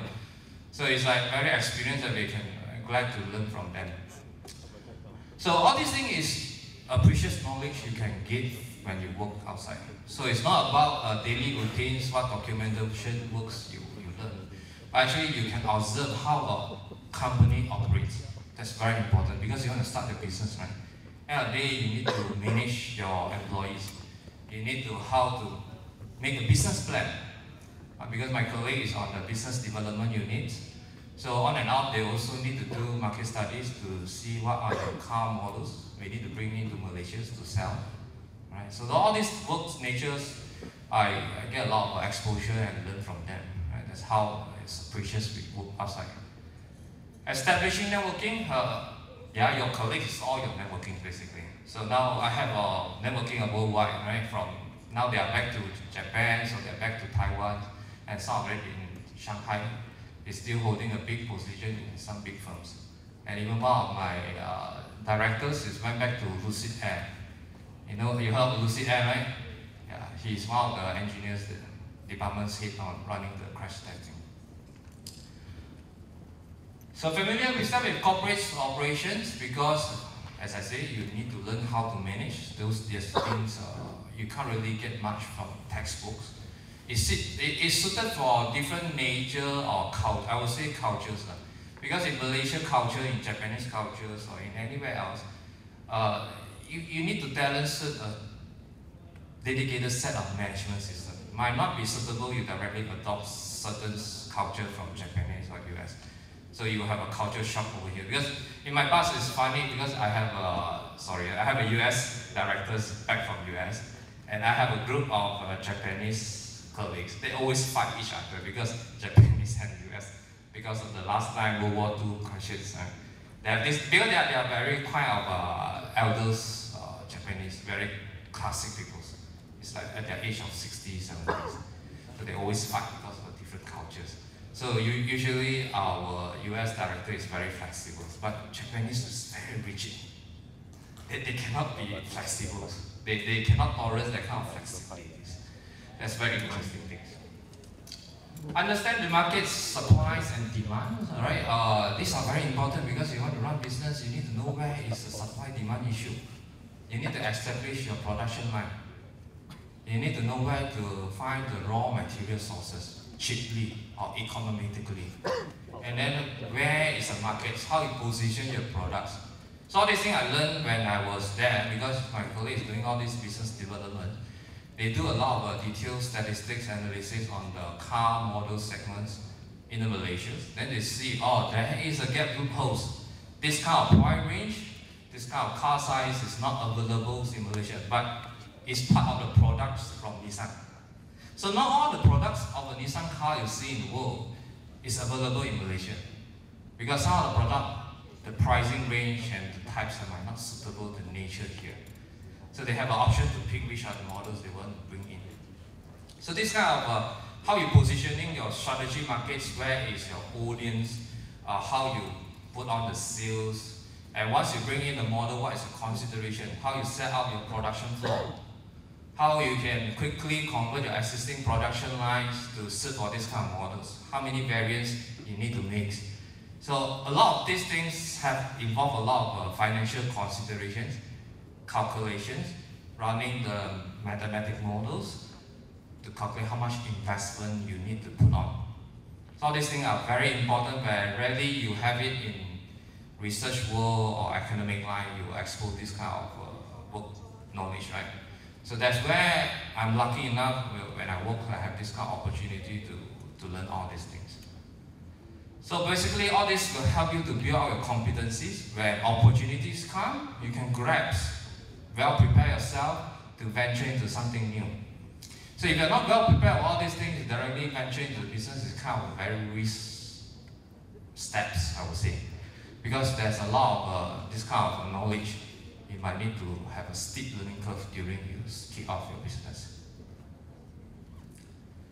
So are you ready for a new business or not? So if you have something in mind, uh, there's some things I can advise. So first is whether you find an opportunity or get a business or not. Do you find something you want to sell? What kind of product you want to sell? Whether it's a service or it's a product, do you solve problems or not?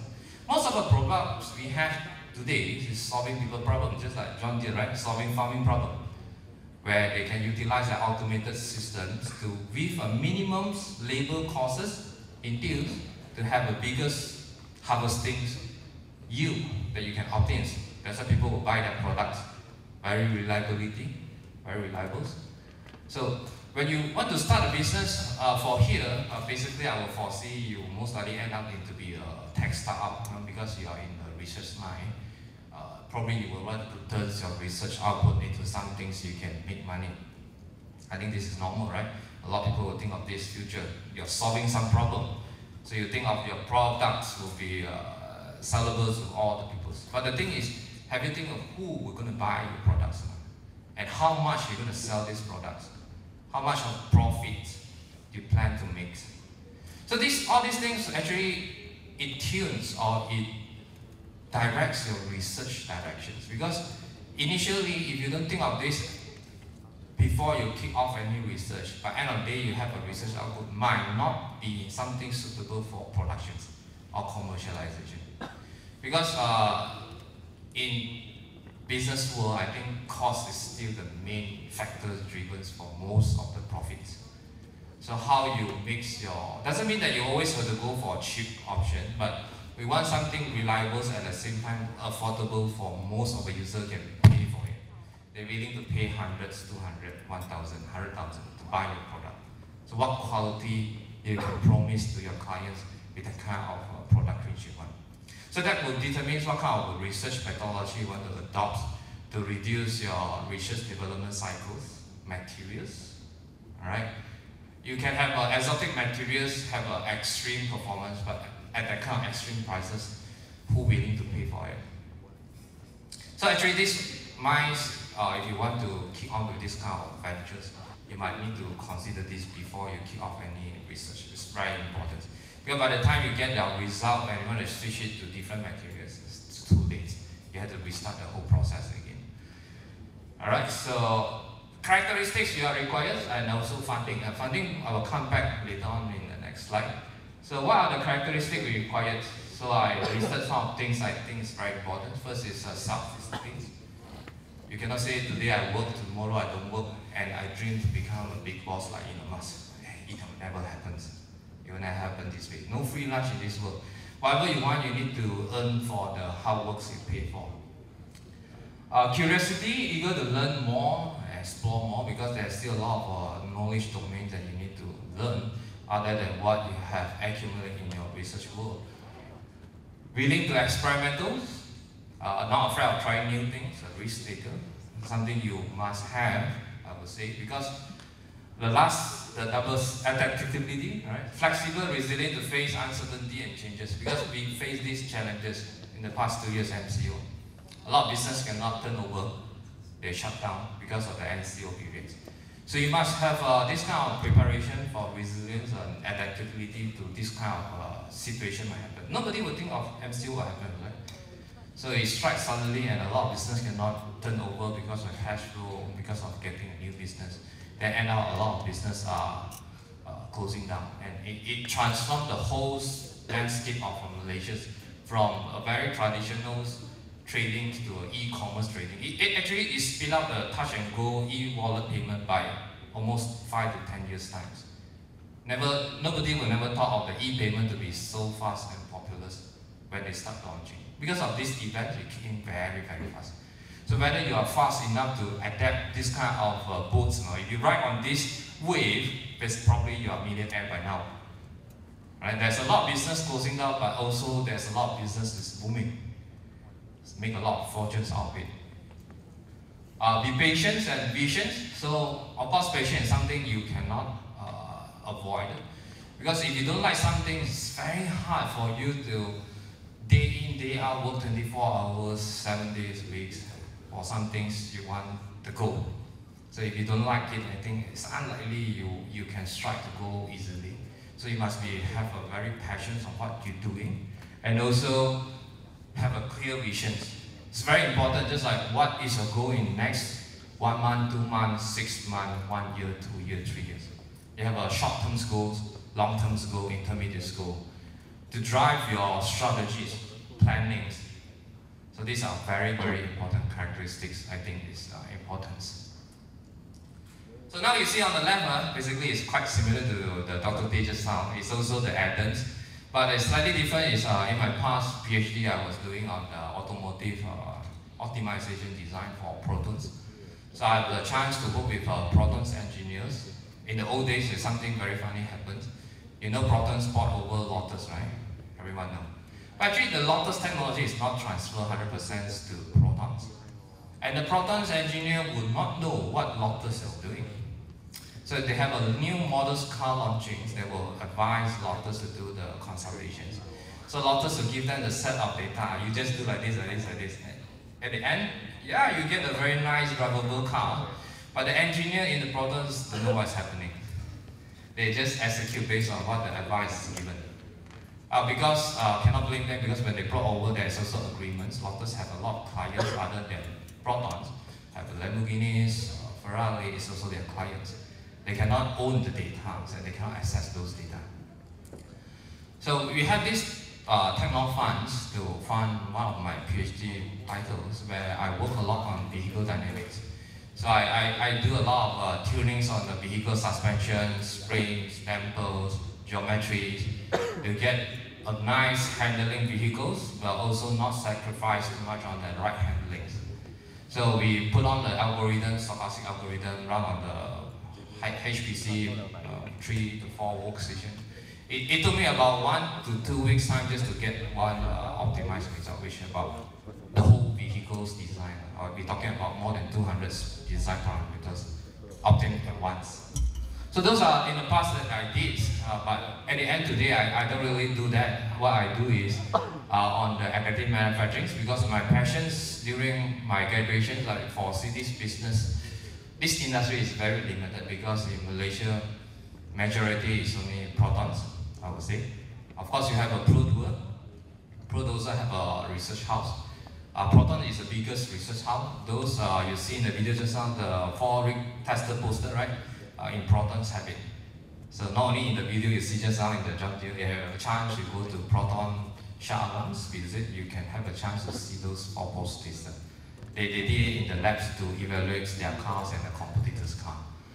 So those are my, my past. But now what I'm doing here is basically I, I'm doing a lot of 3D printings.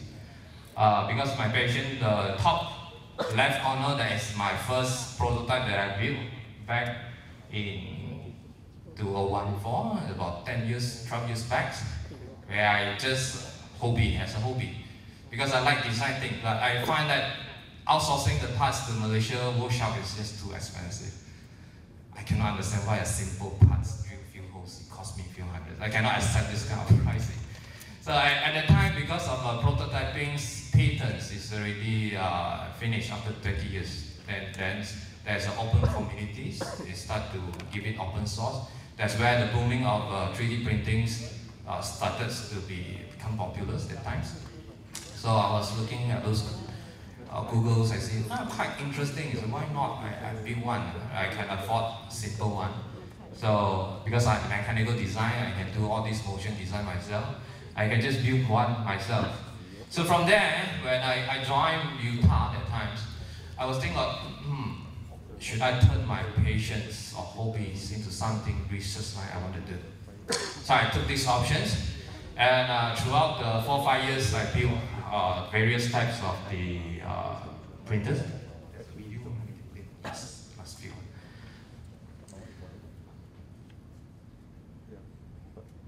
Yeah, from a simple design until I getting the UTAR seed grants to build a much more bigger, and then later on, it, it, proceeds to a much more advanced systems.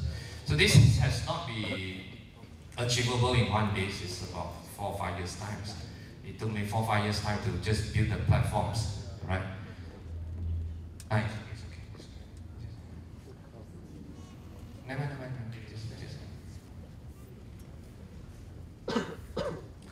So, what I see the problems in the markets and what is uh, our proposal solution is, we see in Malaysia's uh, workshop especially, uh, those machining workshops, they are lacking of uh, human uh, external for foreigners because all the workshops are running 90% or 80% of it is, from the foreigners to run the CNC, run the lathe machines, milling machines, there's nobody in the Asian country like you would like to work in the workshop.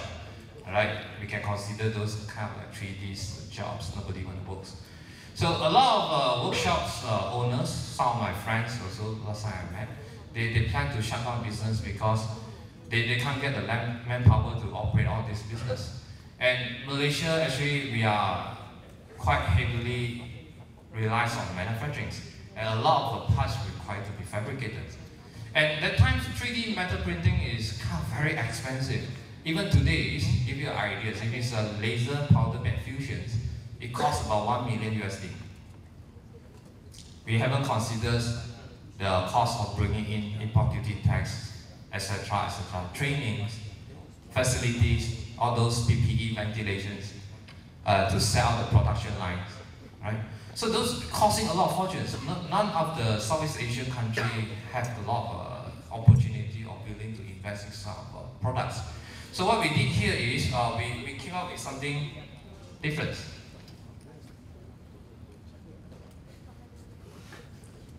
Can to the next?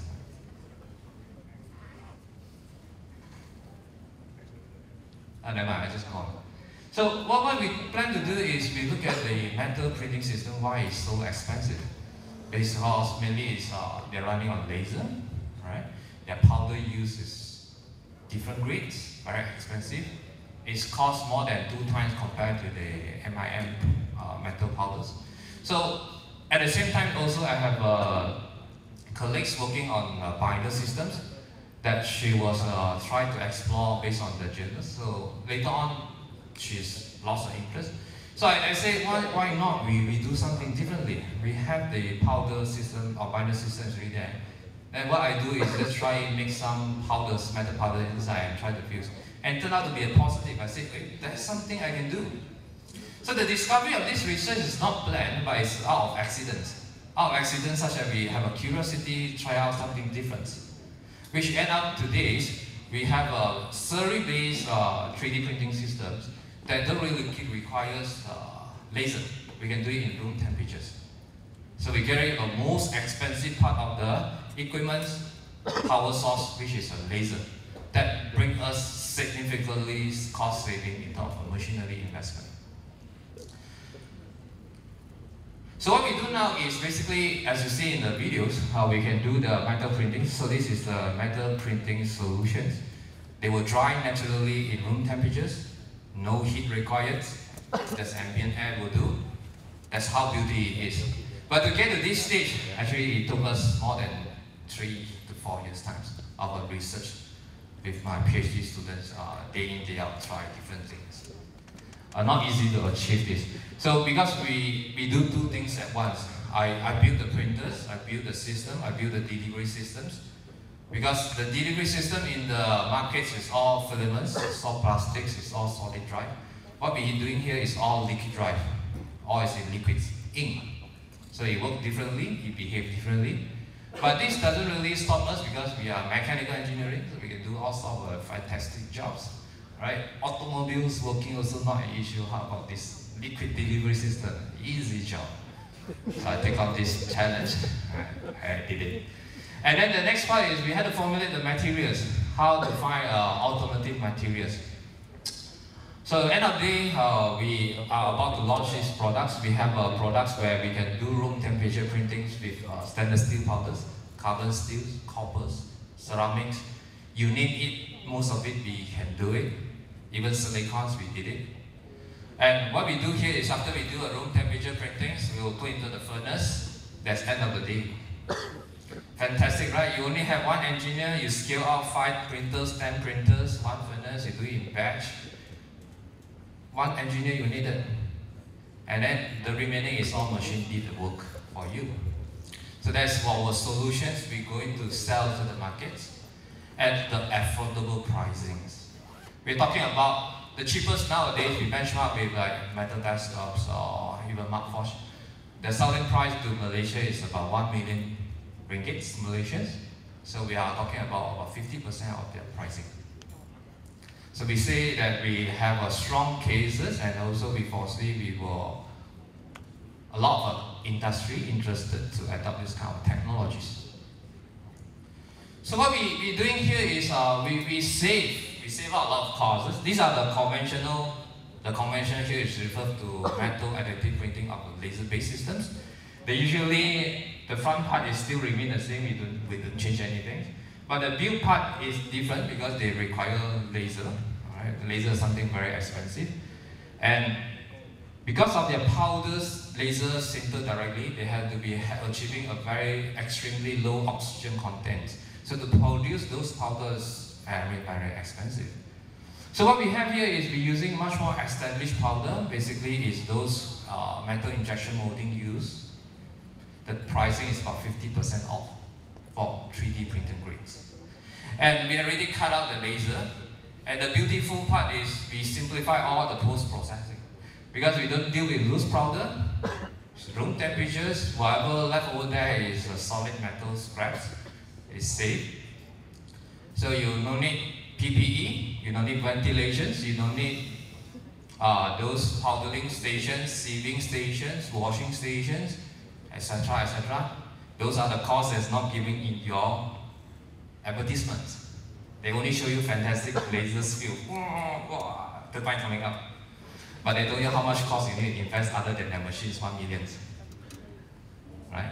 So these are the things we, we try to achieving to simplify and we can achieve zero wastage. Even our scrap parts fail, don't worry.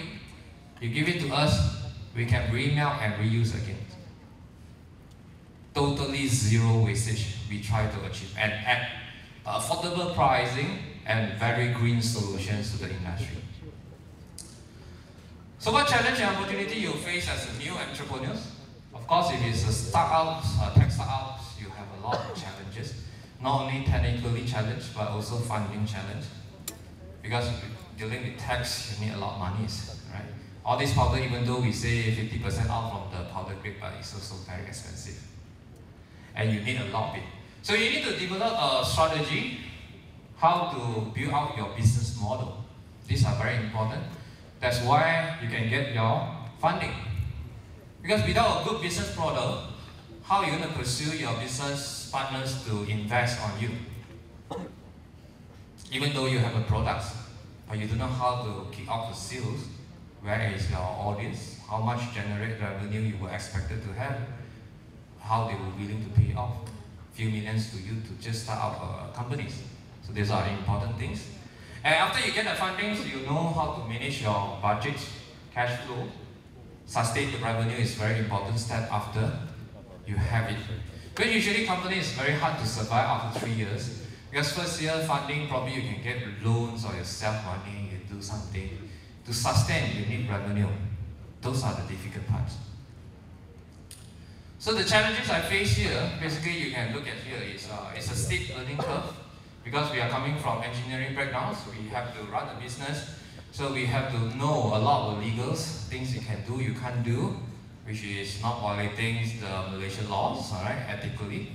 And also running your HR, because my myself is not a director, I had to be the manager, I had to be the HR manager, I had to be the R&D manager, everything, I say everything I have to do myself. Me and my partners, luckily I have my partner who is uh, experienced uh, businessman, he's running the big firms. So he had all this established, so it's much more easy for me to go through. And um, writing business proposal, pushing our technologies from uh, TRL 23 or technology readiness. This one NASA, I think they can explain. This is coming from them. Yeah, NASA skill, technology readiness. We use this to do the evaluation for our grants also. So we have to write the proposal to get the government fundings to help us to push it to the commercialization stage. So what you see in the pictures there, TRL 2 and 3, that's what I did in the old days. I just, out of curiosity, I mix a bunch of a binder with metal powder and throw into the furnace and see what's happening. Luckily, it's not too bad, it's still a spherical shape. I see, oh, that is a potential proof of concept. Then it took me about four to five years to get to TRL 5 and 6, that nice part there. It's not an easy job. From there, I had to understand materials, I understand the properties of it, I design the machines, I encounter all sorts of the challenges. So if you want to have your funding, okay, the funding is on the right hand side pictures there. So if you see the funding available, uh, research grant, is a basic research which you usually you have now, which your FRGS or seed funding by UTAR. UTAR are very kind, provided seed funding for you to prove of certain uh, concepts. After you have done that uh, proof of concepts, uh, that is a dead value, you see that's dead value, because a lot of people will die there. because in Malaysia, I'll give you a bit of statistics uh, by mostly, mostly say Malaysia are not lacking of journal publications. In journal publications, worldwide Malaysia have ranking, quite a good ranking.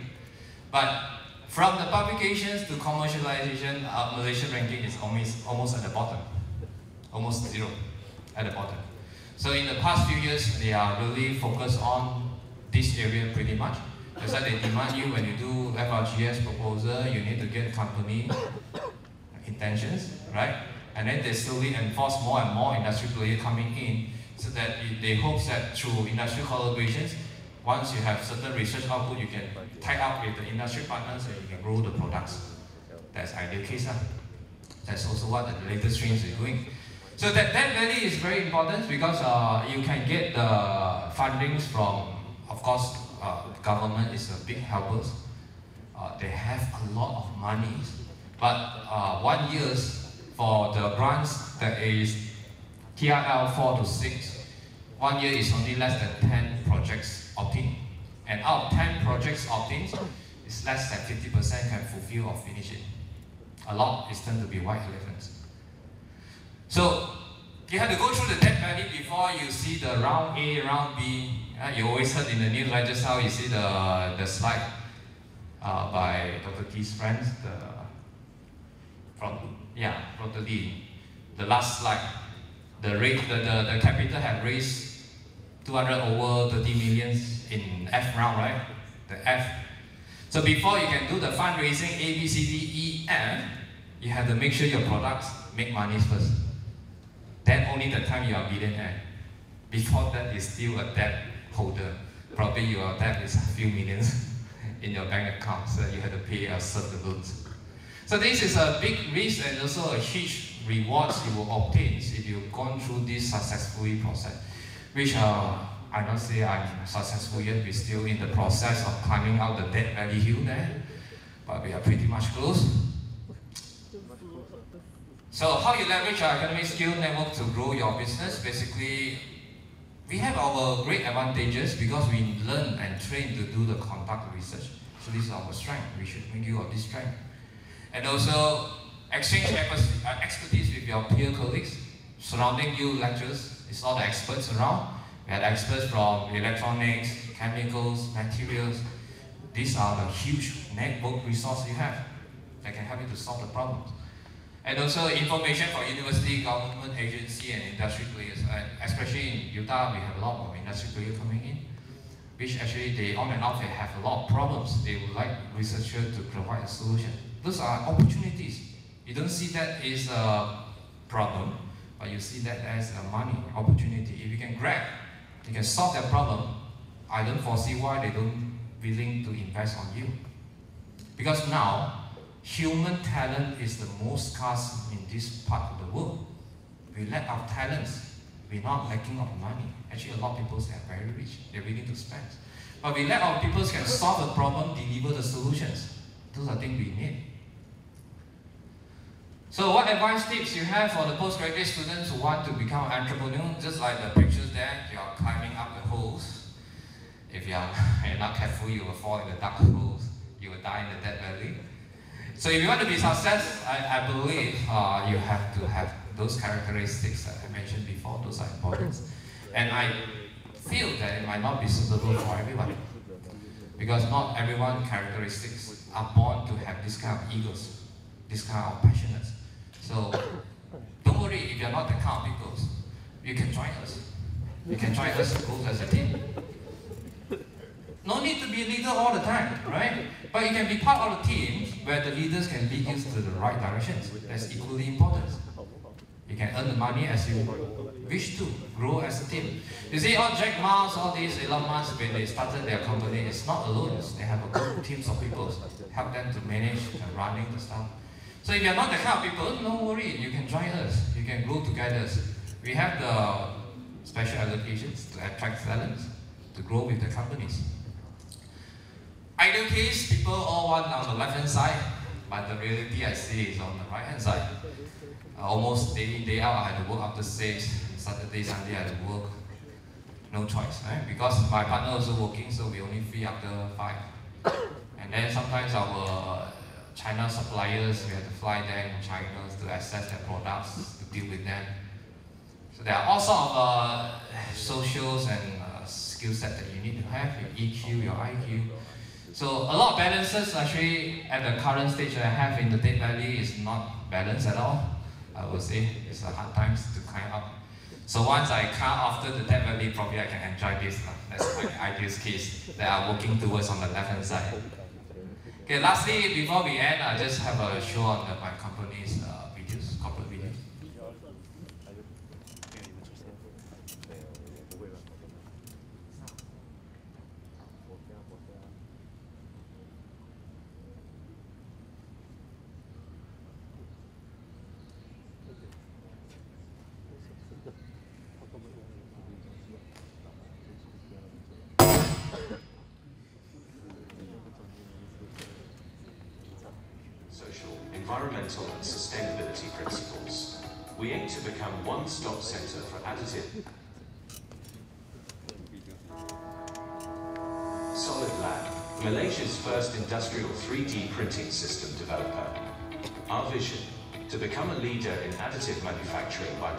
3D printing related solutions that meet or exceed our customers' expectations in terms of performance, cost, and speed. We strive to conduct our business in a professional and ethical manner with sound technical, business, social, environmental, and sustainability principles.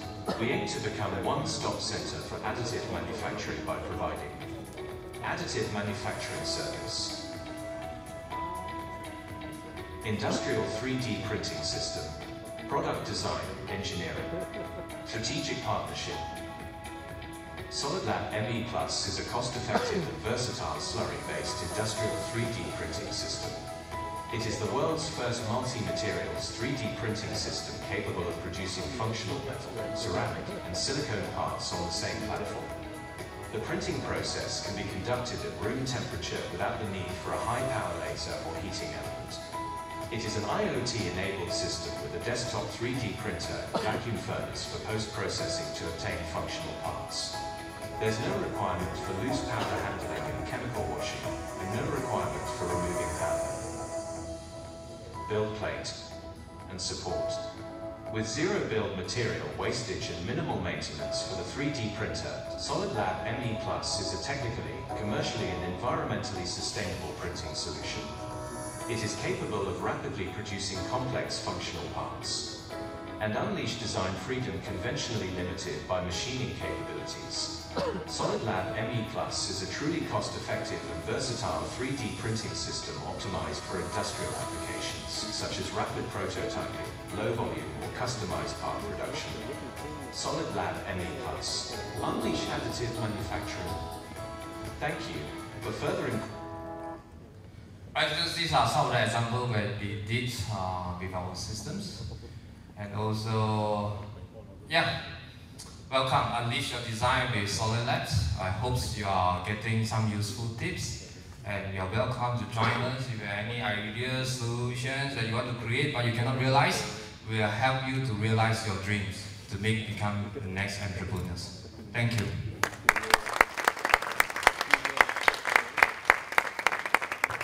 Thank you, Dr. Tey, for the very interesting talk. Probably I chat sheet for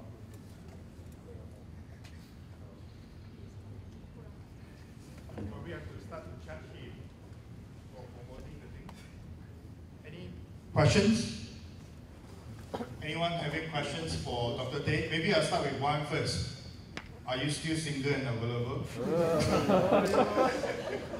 My, my, my job and passion is uh, married to the, the companies like that.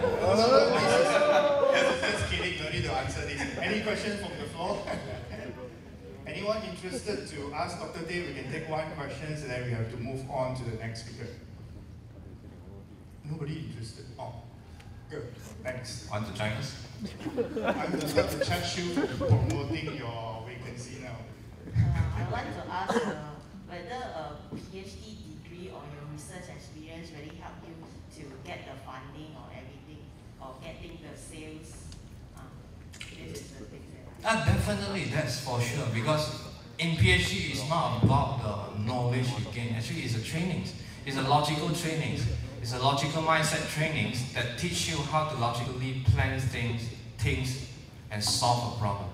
That's a more important, valuable key sets that you have in the knowledge you know in certain areas.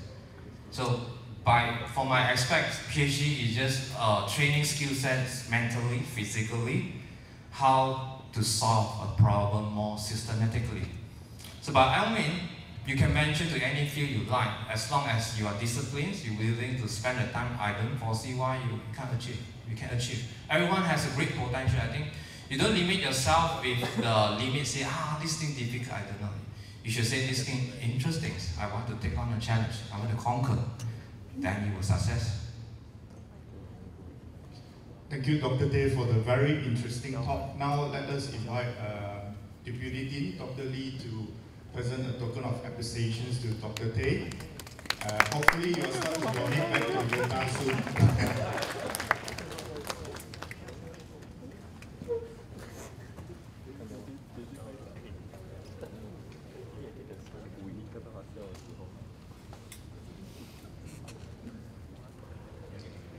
Thank you, Dr. Tey, for the very interesting sharing. Sorry for overshooting a little bit. Now we will invite our next speaker, Dr. Simon Yueh, coming from the other side of the earth.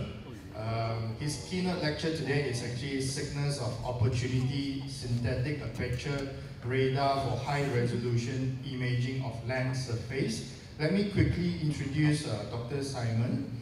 Dr. Simon is actually uh, senior research scientist from Caltech, and he is also one of the engineers under NASA, Jet Propulsion Laboratory. He's coming from the US, all the way from US to share his uh, life after postgraduate study with us and also share with us his uh, research results and also research projects. Without further delay, uh, let us invite Dr. Simon to start his keynote lecture. Thank you. Uh, to begin with, uh, I definitely appreciate this opportunity uh, to be able to share you know, kind of my thought uh, with all of you in this room here. And uh, this made me kind of like think back about you know, what I was thinking to do, I mean, the, uh, know, 40 years ago when I just got out of school. And so uh, I think the, uh, uh, I mean, definitely 40 years ago, right, I would not have imagined this world be like this. And I definitely would not have imagined this would be what I have been doing kind of for 20, 30 years. That's part of my career. And so I think uh, very glad to follow Dr. Dante's uh, presentation. And uh, why I think kind of driven us to work, uh, in particular uh, for my area, science, understanding of the environment. And so what's the motivation? Number one, quest, curiosity, right? You ask a question, what's going on? What can make you uh, understand kind of what's happening? So that's the fundamental driver. So after that, what's next? right? The uh, passion. Like what you are doing, that's very important. Uh, if you like to make money, follow Dr. Tey's path. if you like science, follow the other path.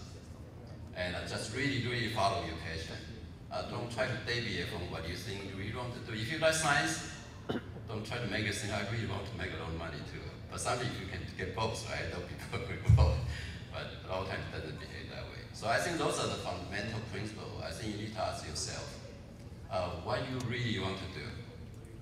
And after that, you set your path, right? I mean, I also pretty fortunate to follow this uh, very rigorous, right? Very good testing, pilot testing, or something like that.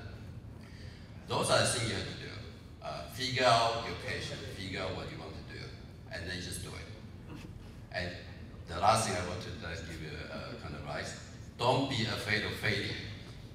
We fail many, many times, many, many times, until eventually find a solution. I think that's it. That's what you, of my advice to you. Okay. So today, the, uh, what I'm trying to tell you is kind of something new that we are building and to sense the environment from space. 30 years ago, we not have told you we could do this uh, kind of like today, but we need to keep thinking forward about where we want to be 20 years from now, 30 years from now, so you can make your children, right, you know, have a better environment. Okay, uh, so I'm going to use this particular example as a driver uh, for you to know kind of like why the uh, understanding environment is very important. There are many things in the environment, and one of the very funda fundamental elements is the water.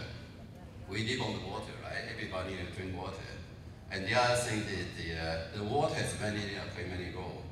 Uh, the water, in fact, in the soil, uh, it provides water, right, to the crop, right, to the tree, to the vegetation. They need to bring water in order to grow. So we count on that. But water, right, also the uh, regulate the energy changes uh, between land surface and the atmosphere, right, in the, you know, in the, in the soil. So you cool down the surface, right, and uh, the, the water effect evaporating from the surface, right, may become the rainfall, you know, back to the surface, and some of the, uh, uh, I mean, daily rain, right, we all experience, right, in this environment, whenever I am support, you can get daily rain every day. May have a lot to do with the multiple elements, evaporation might be a factor. And so all those things together, I think the uh, uh, societal implication, but they also pretty important science connection. Uh, we need to know how, how much water, right, in, on the, uh, in the soil in on, on Earth. and uh, once we uh, can have that kind of information uh, in a quantitative, accurate way, then we can do the weather forecast, right? You can imagine that, right? And then the other thing, you don't like fresh flood, right? I started then uh, the fresh flooding, right? It's a very serious issue, create a lot of damage, right? To many people, people's life. So there are many things that we want to avoid, want to mitigate. So knowing the amount of water in the soil is very critical. And so uh, the other perspective, let me also show the, uh, uh, the snow.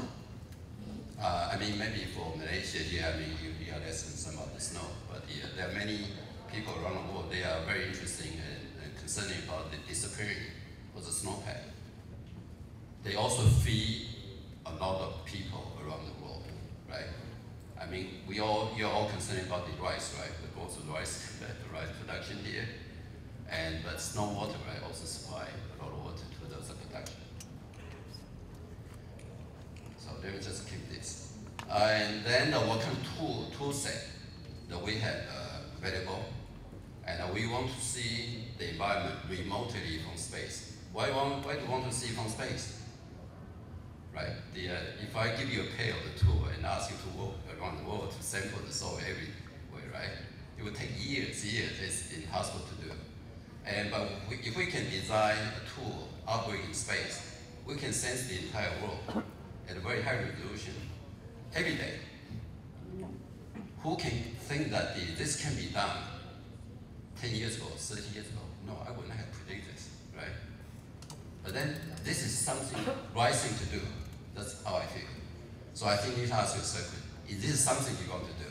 Okay, so we say this is, I say this is something I want to do. So there are many tools that can use to sense the amount of water in the soil, in the vegetation and so on. Uh, one technology, that was, that's what we call the radiometry. Don't worry about if you don't know what this means about. It, uh, the soil actually radiate uh, emission microenergy. You may not know that. the more the water available in the soil, the less radiation coming from the soil. So that's how the radiometry works. And the other tool is what we call the radar. Everybody know radar, right? So radar sends a signal, bounce off from the ground. The more water in the soil, the stronger reflection you got. That's how it works. And uh, the other thing is a new idea that in fact we are uh, pursuing uh, JPL, uh, NASA JPL project, using a new idea uh, to sense the, uh, the soil. Use a multiple uh, bistatic scattering called reflectometry. And so why do we want a multiple set of a tool available that will help you? And so the radiometry type of technology it can provide the rapid uh, observation every few days, world, the entire world, every two or three days.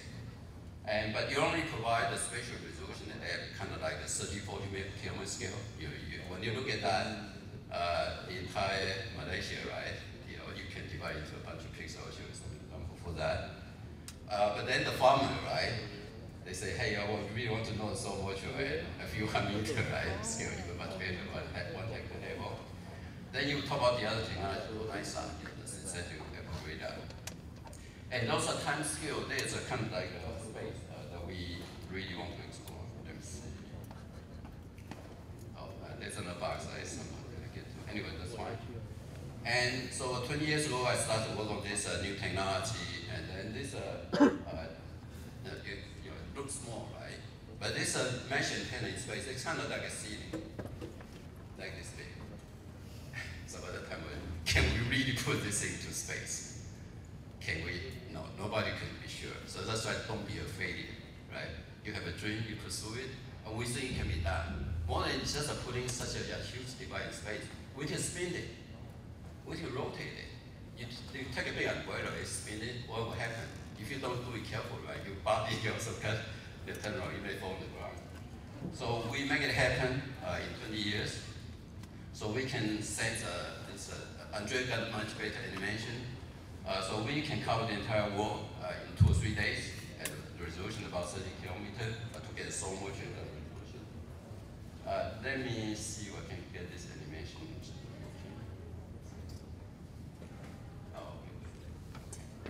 Oh, so what you're seeing here is a combination of the data set from two NASA satellites. think about the combination of satellite. One a, a precipitation, rainfall, right? Who can think that now we can know the rainfall information daily, right? So this animation is the uh, one very, very, very component kind of that you can see that the rain. And look at the Malaysia that you that we are dealing today. A lot of rain, right, in tropical region. High altitude, right? Rain, right? But in a kind of like different type of uh, time resolution pattern. The background, right, is what we call the soil moisture. We can see the change of soil moisture today at every few day time scale. And look at that, the change of the, uh, the soil moisture pattern over the Malaysia. Okay. So next, uh, let me move to the next animation. Let's zoom in. Just look at the uh, environment. So we, we are, we are over here. You where we are, you all of you. And so look at the, uh, this uh, soil moisture pattern across the uh, Malaysia. Uh, look at the, the western side. I started learning uh, uh, much more uh, from Dr. Nishi two days ago. Then I kind of like, I want to look at this one. No, I know it makes sense. The western portion of Malaysia is wet. Wet most of the time. It receives a lot of rainfall most of the time. And the eastern part also receives quite a lot of rainfall, also wet, right? Uh, the pool uh, regularly wet. And the central portion, kind of green, is uh, kind of like less water. The mountain range. So that's why the paddy field, right, is on the western side. Now we can see this kind of pattern every day. But the farmer wants to get the resolution to 100 meter, right.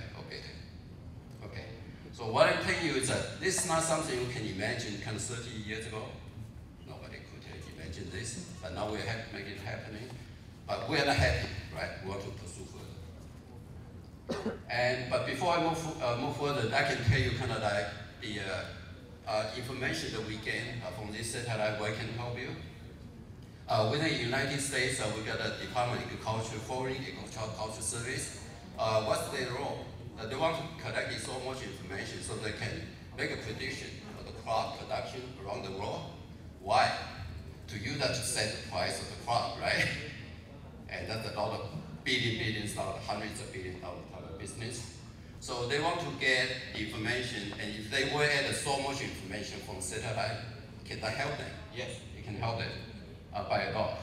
And if you look at the Malaysia that fall into this red area, with or without the so much information from the satellite, then gain a lot of information to be able to predict the, crop production of one month ahead of, ahead, one month ahead.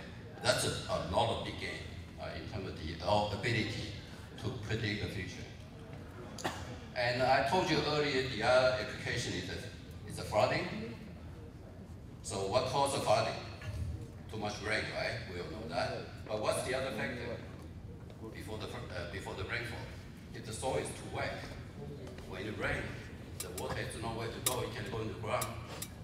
It have to go to somewhere else, right? It have to go to the lower area that causes flooding. So two factors, right? And uh, so what this set can provide is the precondition before the rainfall. And uh, if we know this area is already soggy, and so when you see the rain is coming, uh, then you have to get prepared, right? Maybe one day, two days, right, in advance. Okay. Uh, the other thing is what we call the landslide, right? Landslide, we all know, the same thing. The soil, soil is too soggy, but it had to be high resolution. So even uh, the, uh, the resolution to be can be provided by SMAP, 30 kilometers, we can still create quite a lot from that. So we can still make the prediction of landslide, right? But then obviously in the future, we want to get a high resolution data from the well. And uh, so NASA is going to launch a satellite uh, soon, uh, next year, in collaboration with the Indian Space Agency to provide a data set 100 meter resolution. so eventually, what are we trying to achieve? And we want to gain this uh, so much information globally, and then at 100 meter, a few hundred meter resolution. So from the top, it, okay, I don't. So the top panel, that's where we are today. That's a spatial resolution, kind of across a particular area. The bottom is where we want to get to 10 years from now. Okay, so, so set a goal and then determine kind of what you want to do. And so the big radar is very expensive to build, very expensive. It depends on who built it. if we have a Dr. It's a 3D printing, maybe eventually we can get the uh, satellite cost right down to 10 million, 20 million dollar. But Today building a customer satellite is very expensive. The NISAR mission will cost a billion dollars. Maybe he's a print 3D printing can get it down to 100 million dollars, right?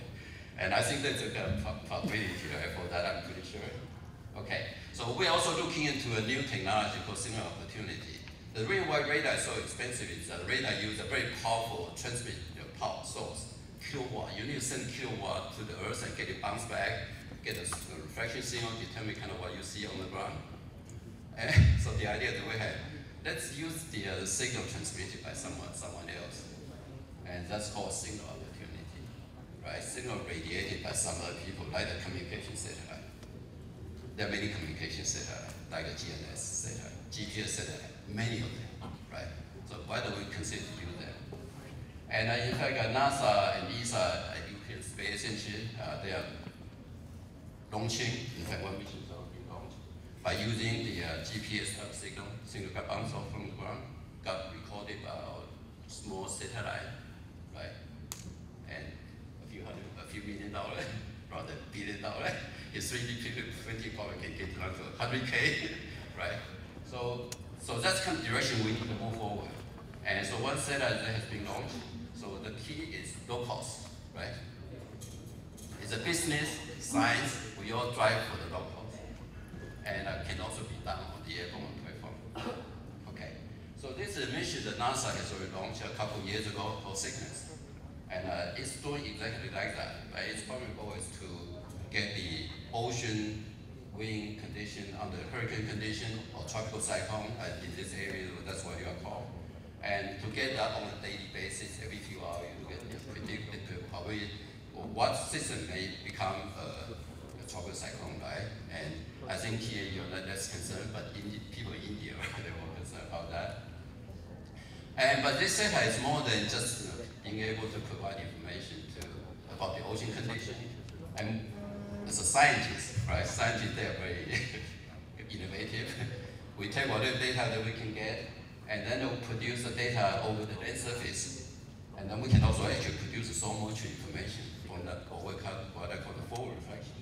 And uh, so chart just shows one example that we have produced. Uh, April and then the October, different type of uh, season, and so much different for the uh, uh, uh, the America. Fortunately, I don't have example for, the, for this region, in the future. But the image that you see on the left hand side, you can also see in Malaysia, those are regions covered by the forest has a smaller reflection. So why do you want to know that? The water content of vegetation, uh, that's also very important that determines the, the health of the forest. Okay. Uh, and then the, uh, why are we uh, working on this? The traditional technology that we're using only allows, for this kind of single opportunity, only allows to look at the, the data from the set, what we call a spectral contract. And you don't, don't worry about that, you don't know what that means. And uh, if you're interested in it, and uh, you know, join the science community, and I think you can explore. And the thing is, internet a SWOT, so it doesn't create an image like, like this map.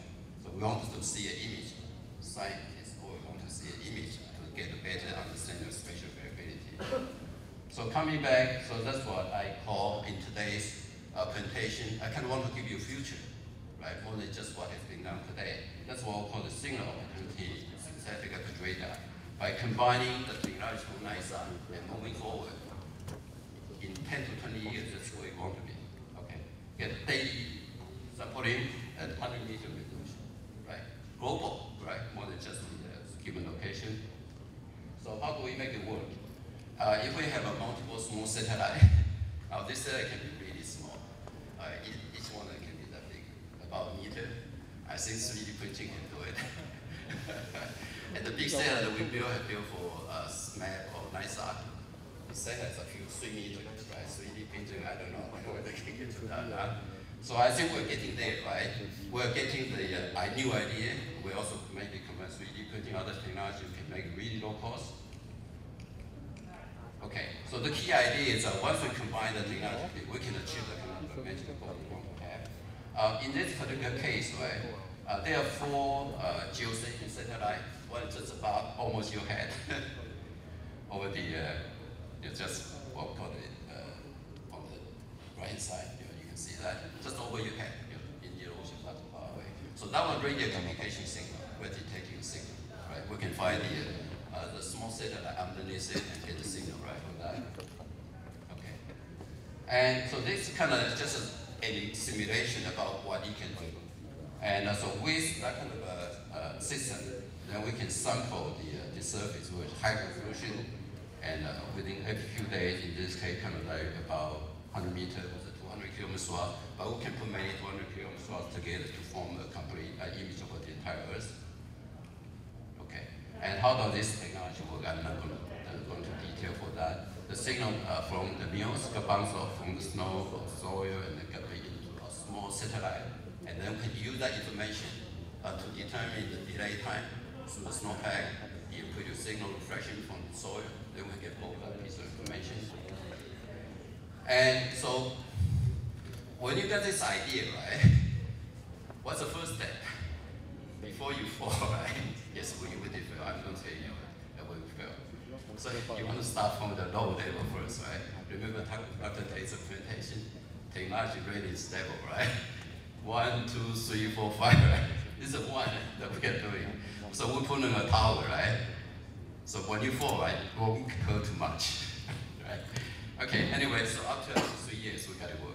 So we put a tower about snow, then we, now we can see the, uh, the change of snow, we can change the, uh, see, change of uh, soil moisture condition, you can see both, right? So we get power, we know how exactly how it works, and uh, so this is easier to service. Uh, this is kind of what we felt. So we got this small receiver, can work on the tower very well, know, that tiny. So we think we can put it on drone, right? Small aircraft, and the aircraft can fly, right? And get the whole much bigger area. And uh, so, we, you know, this is a tiny person behind that. You can see, the, so it's not that big, right? It's small, small wing. So we'll put in North Cone area, we did a couple fly over a certain area. Know, drone work are fine, no issue. Uh, but the thing that we didn't recognize, when you fly this thing in the mountain terrain, the weather is very challenging. So when you fly this drone, it called the tree line. And so anyway, that's the lesson. Uh, so, uh, so the lesson is the, uh, uh, yes, we can make it really small, we can make it work, and, but be careful about there are many other factors, right? There are many, many other factors. You have to be very cautious. Okay. So the detail is very important. I'm going to add to that. Detail is very important. Okay. So our next step, we got one failure, so now we know, you know, the next step. We can make everything very small, and then we can fly on the uh, on a big airplane.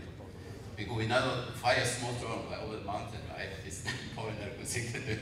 So we put it on, a big airplane, right? So you can fly a mountain, right? Less affected by the, uh, the, the weather, and then everything is very small.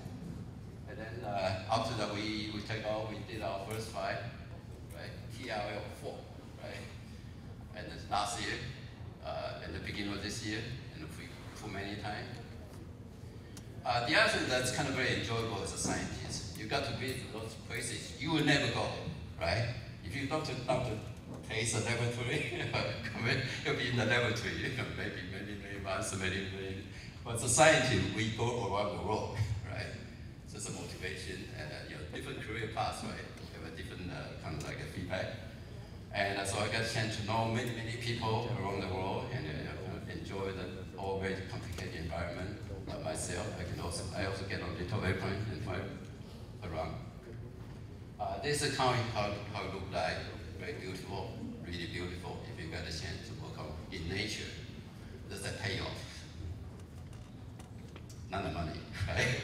but there's a payoff. Okay, uh, so personally I would say I walk through the snowpack myself. and uh, so you got to do this. You got to do the kind of thing no one else can do. No commercial flight will take a day. No, but you can do this, right, if you become a scientist. Okay, anyway, we got our uh, first uh, airborne image. So bingo, right? TL5. and uh, just confirm that we are seeing something that's correct. You know, the, the data over the, the tree canopy, signal is weaker. Over the open area, signal is stronger. Okay, in summary, uh, from the science point of view, uh, understand the, uh, the water uh, in the soil moisture, in the soil, in the vegetation, in the snow. Those are very important for understanding of the environment, but also allow to predict the future, right? Forecast the future. And then the, uh, the technology, uh, I think there are a lot of tools we can use. The new tool, whole tool we've been exploring, we need to expand it. We need to produce a lot of them. Mass production, right? That's why you call it TL9, right? The mature technology, expand that because the cost is already low enough. But at the same time, you want to export the new idea, right? Do the the same objective at much lower cost, right? And that's why we are pushing. And so that's the last point uh, I'm trying to convey to you. Uh, I've been to my presentation, yes, hopefully.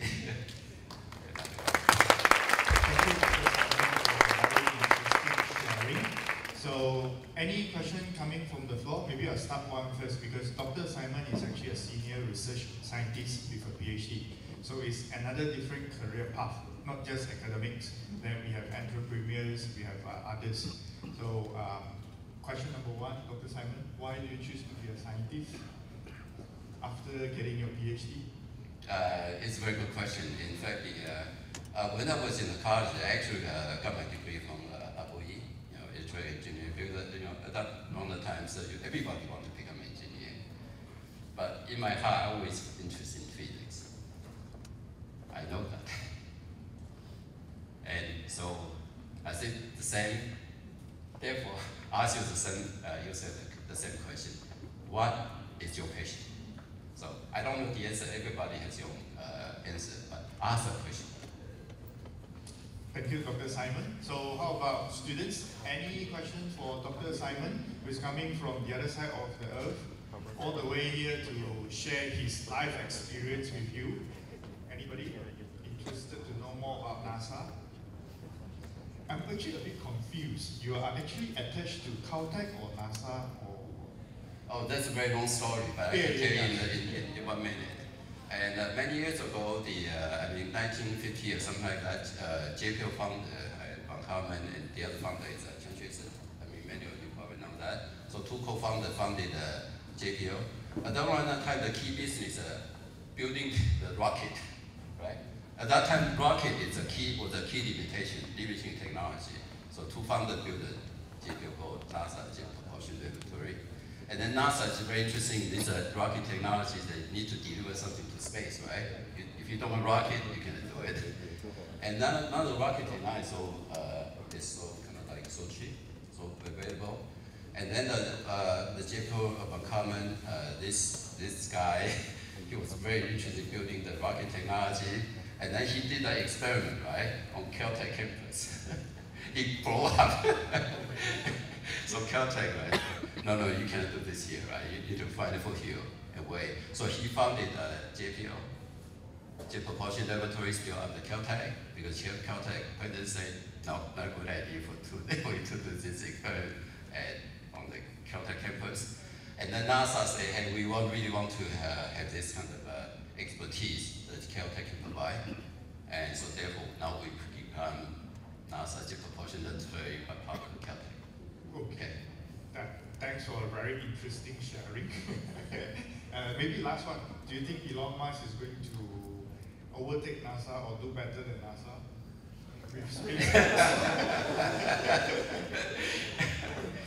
And so uh, I think the uh, uh, I think just the same kind of a very similar type of response that I had. I think we all pursue our own dream, and I would not know exactly kind of like uh, what the answer would be exactly, but Elon Musk has his own motivation.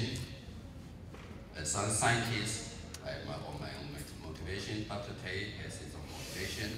I think that's what we can do is just take your patient, move forward, and then we'll see what happens, right? 10 years from now, 20 years from now. Okay. Uh, thanks a lot for the very interesting sharing. Uh, usually the will ask you after or after your talk or during lunchtime. Thanks a lot for your sharing. Uh, now let us invite our Deputy Dean, Dr. Lee Kim Yi, to present a token of appreciation to our speaker.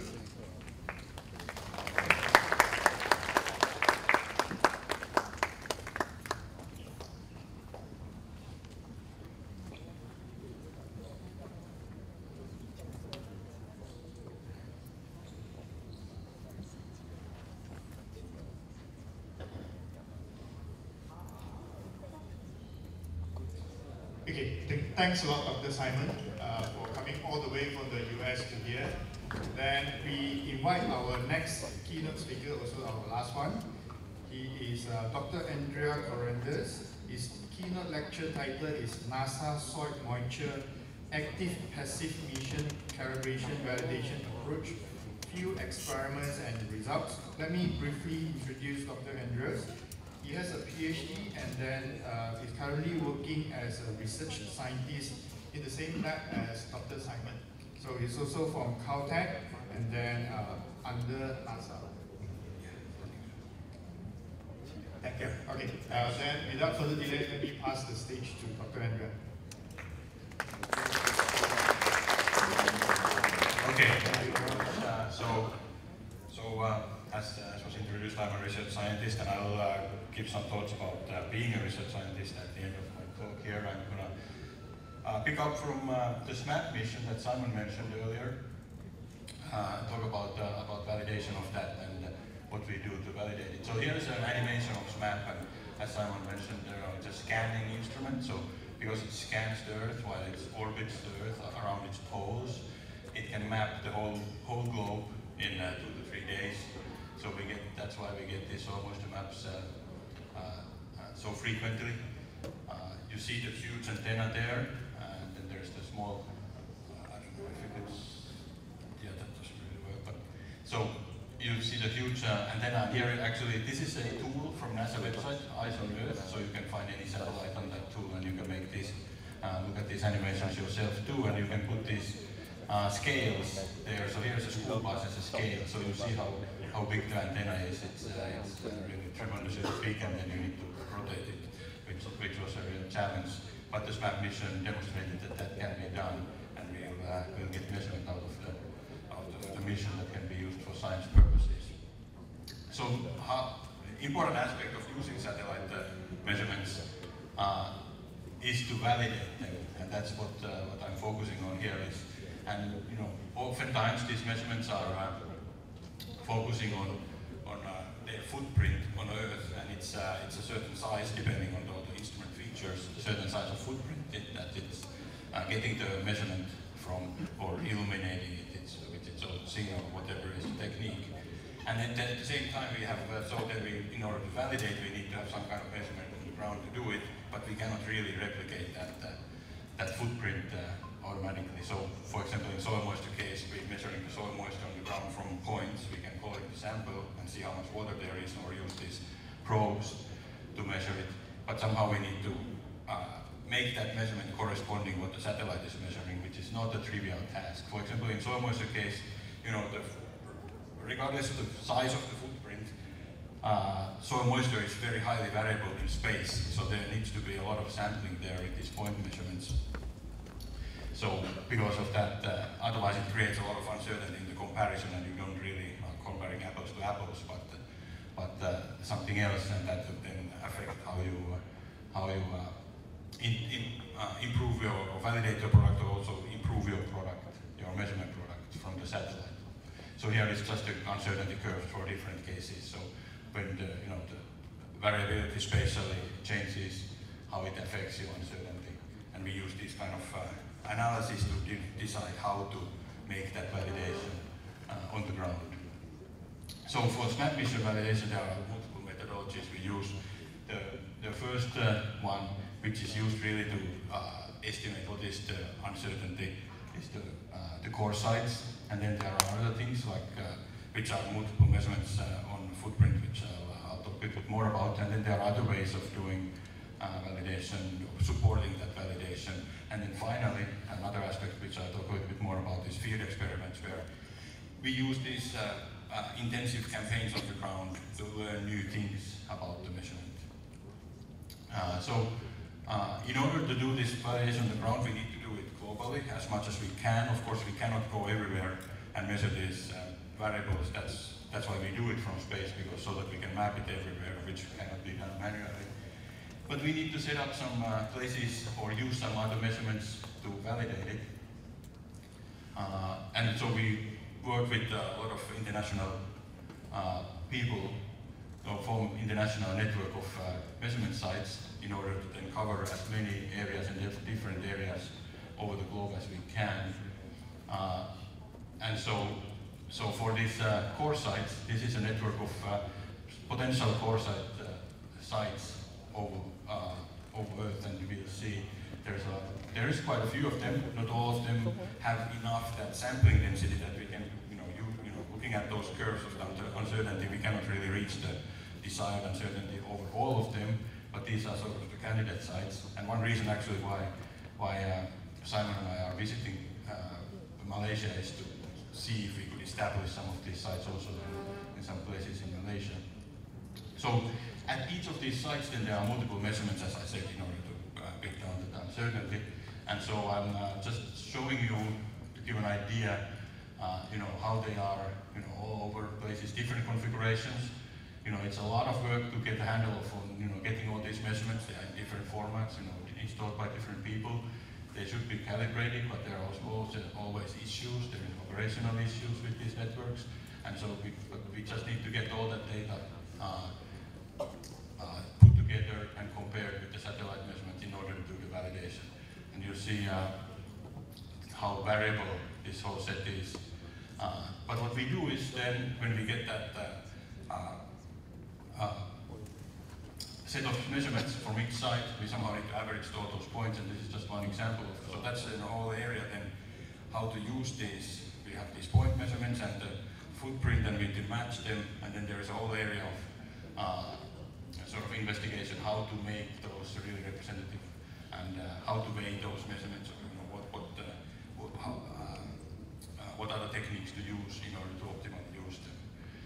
But so eventually we get to the point where we can compare them. So here is then uh, with uh, too busy chart for this purpose, but uh, you see like a time series with multiple products, multiple alternative soil moisture measurement uh, or retrieval products, and then and compared to the in situ, which is sort of a solid line, a little bit hard to see there, but the red solid line behind, and then you get the scatter plot of that.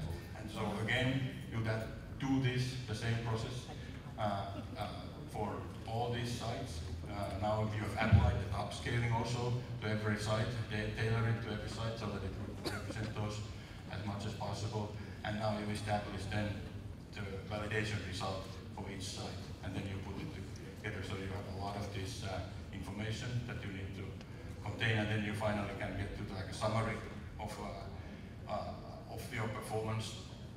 And then you can get out, and I'm not going to talk about all the details, but the point is uh, what's the process of getting this uh, validation together, and then uh, you you can focus on some measurements. Like this is like main, main number which we look at, but of course you need to look at the whole big picture to understand what's the performance and how the how it uh, works. So now then we you know that's sort of the operational validation of the product, but then there is these field experiments which we can use for learning new things. And something we've decided to do, or some couple of vertical field experiments is so they are usually short duration and focus intensively on, uh, on a few things um, that we want to understand and learn. Uh, we use different methodologies, manual measurements, stations, airborne measurements, all coming together with the, with the satellite measurement. And, uh, and then we use, in this case, what I'm going to talk about, we use this uh, to understand better how the measurement works in, uh, in forested areas. Forested areas are extremely important uh, understanding uh, Earth system. And but in this map, this map shows the areas where, oh, the arrow is supposed to be there. But, so it uh, it shows the areas where there is forest that we have determined from other sources that is so dense that it challenges the current retrieval, the reliability of the current soil moisture retrieval. So how to then go into this, uh, how to measure also soil moisture in these areas is the reason why we then uh, started this experiment. So we conducted an experiment over these uh, basically three locations for forests. Uh, one started already in 2019 in northeast US, and then we also have this Canadian experiment. Uh, and it was actually there, part of it started already earlier 2022. We had the main parts of these experiments going, and this just shows that we had some other experiments before too, uh, which we used to, to learn some other things. About the product. So these sites in uh, northeast US, uh, there was these multiple measurement locations again. all these pins there had a station. I'll talk a little bit more about what the stations had. And then the yellow pins all were sites where we do intensive measurements during 2022, and I'll have a, a few charts on that too. So, so what we attempt to do is sort of, we have that uh, red area is where we sort of think that there's too much uh, forest there, but even, even if we have, can uh, measure pixels, these large footprints that are partially forested, even if they are not totally forested, uh, we can still, you know, unmask a lot of area in, uh, in uh, US, uh, for example, here, you know, focus. So the measurements uh, were very extensive in the experiment, so we focused on vegetation, uh, on the ground of course, but then also vegetation, and then some had some remote sensing measurements. So, so on the ground we have those stations that I will describe, and then manual measurements, uh, and then vegetation, we did a lot of different things to characterize those. And actually, in the algorithm of uh, the soil moisture measurement, we can also measure the vegetation parameters. So we can simultaneously measure uh, some of the vegetation transmissivity, which is like how much the vegetation attenuates the signal uh, and the soil moisture. Uh, so we wanted to also understand things about that so we could validate that retrieval, which is uh, another challenging things to do. Uh, so the networks that were installed, so here is an example of uh, some of those forest networks. So they are these basically these uh, stations where we have, you know, battery, solar panel, measurement of temperature, but then also the soil moisture at different layers on the ground. And then we, we also see people installing tree sensors here. So, so we want to understand all these components uh, at multiple locations. So these were installed in all these locations where you saw those pins. So, and then manually we measured soil moisture. Uh, so we had uh, these, but these are like handheld probes, and also they collect uh, soil samples to calibrate we see uh, people going out and measuring them during those intensive observation periods. And you see different conditions. So in, uh, you know, it's a deciduous forest, which means, you know, you have, uh, uh, during winter there are no leaves uh, in the trees, and then during summer there are big leaves in the northeast US.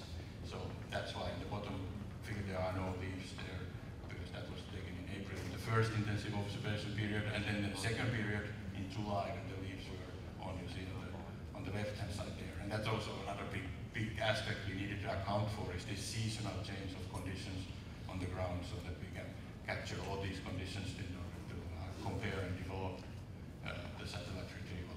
And you also see differences here in terms of on the right-hand side, this is in the boreal forest, which has very different structure than the deciduous uh, temperate forest of the northeast US.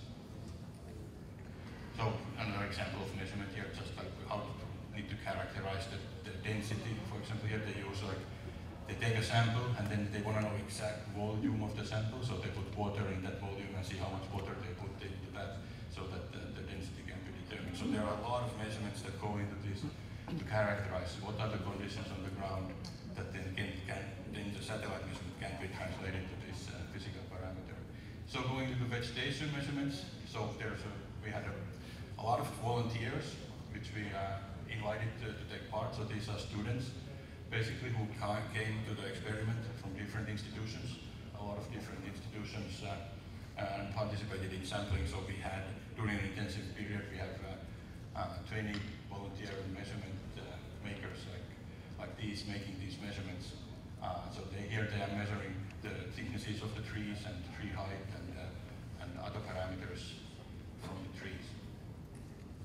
And here they are uh, on the left side, taking that soil sample that can be then uh, it, it's weighed when it's collected, uh, after it's collected and then dried and weighed again to get like, like absolutely know how, much there was water there that can then be used to calibrate the handheld probes, which are easy to use, but there is a lot of, uh, uh, there is a little bit of uncertainty there that needs to be calibrated with these measurements. And then also we took down branches uh, from the trees so that we can measure how much water there was in the trees because that is uh, what is affecting microwave measurements is how much water there is uh, in, in the trees uh, uh, or whatever, you know, vegetation. Water is really what is interacting with the, with the microwaves. uh, more, uh, you know, top canopy measurements were also made so that we can understand uh, better the leaf water content impact and we did this actually multiple times a day to understand it, how that varies uh, during the day. So get that, that diurnal cycle of, uh, of uh, moisture changes. Another key aspect is how, how rough the surface is. It affects the microwave. Microwave wavelength is, uh, in this case, about 20 centimeters for the, this instrument. It's 1.4 gigahertz. So, so this kind of the roughness effect is proportional uh, to, the, to the wavelength measurement. So, so we wanted to measure how rough the uh, surface was, and that was there we use different uh, different uh, techniques. In the in the dot plot, you see this traditional way of doing it. You have you sort of drop these pins that show you, then then translate the roughness, basically, and then you take a photograph to, to get that. But then there is actually the bottom one. Uh, that's a raw, raw 3D LiDAR uh, image from, uh, from iPhone, or iPad, I think, uh, which they need to be cleaned up. That, that That's something new that uh, we learned that you can use actually iPhone to uh, make like 3D images, which we could use for this purpose as well. But then more sophisticated LiDAR application is we had a team from uh, City College New York to do these measurements with this backpack terrestrial laser scanning system, which makes a complete image, 3D image of the of the of the forest. So you see the person here walking through the forest, and you know it uh, creates this uh, uh, 3D environment of the trees, and that can be used then to as uh, describe the, the structure of the of the forest for the electromagnetic modeling that is used then in the in the development of the algorithm to get the soil moisture and vegetation parameters. So you can see how you know you can use that to find all the stems within that experiment area and uh, and uh, height of the tree and uh, a lot of parameters. So there's a lot of uh, processing work going on there to, to get most out of that, those measurements. Uh, very interesting measurement is uh, this where we they, this is a team from the University of Georgia now. they used to be Mississippi. So they have two GPS receivers. And then when they have one in the open area and the other receiver in the under canopy, you compare those two receivers and you get the, the attenuation, basically, how much the forest attenuated that signal. And, uh, and that is exactly the kind of measurement we are also trying to get from our satellite, how much the forest attenuates the, the signal. So we can use this as a validation. It's, it's very experimental measurement, but it's, uh, it's very promising in terms of having something on the ground that we can use to validate the satellite. So they have this setup uh, where they can, when they go into the canopy, they can have it uh, on their head, so because they can't carry it around because then the body will be blocking the signal, so it has to be above their head. But then there was another application using the Boston Dynamics robot to walk around in the forest and carry out carry that, the receiver there, which was uh, very futuristic. Unfortunately, I have a video of that, but that's that's a, that's a very cool thing to see walk through the forest and carry that, that receiver there. So then this is an example out of those measurements. So on the left the path they walked, and then the, the uh, difference in the signal in the middle between that open area and the, uh, under the canopy, and then they translate that into attenuation. So what you then will do is we have collect all that measurements, and we did uh, something that needs to be done in this kind of case. You need to work with a lot of people to get things out of this. Uh, it's a lot of data for collecting, but also then processing and understanding it and analyzing. So we had a workshop earlier the year. A lot of uh, key people got together, talk about it. Um, and so here is some of the results, just to get an idea. So we had all these moisture stations you see on the left, uh, on the right, which I showed. So they had these moisture sensors at different depths. There were actually three depths, like these sensors show, like one vertically and then two horizontally. And from all those, we get a lot of uh, signals, and usually there's a lot of variability that's related to the spatial variability. I said uh, that soil moisture has, so you see they both, all the, usually, they all see that there is, okay, like a rain event, there's a spike, so all sensors see that, but there's a big difference in, in that mean level of, of, uh, of those soil moisture measurements. So that's, that's the uncertainty. That's why we need to have a lot of them so that we can have a reliable mean out of those.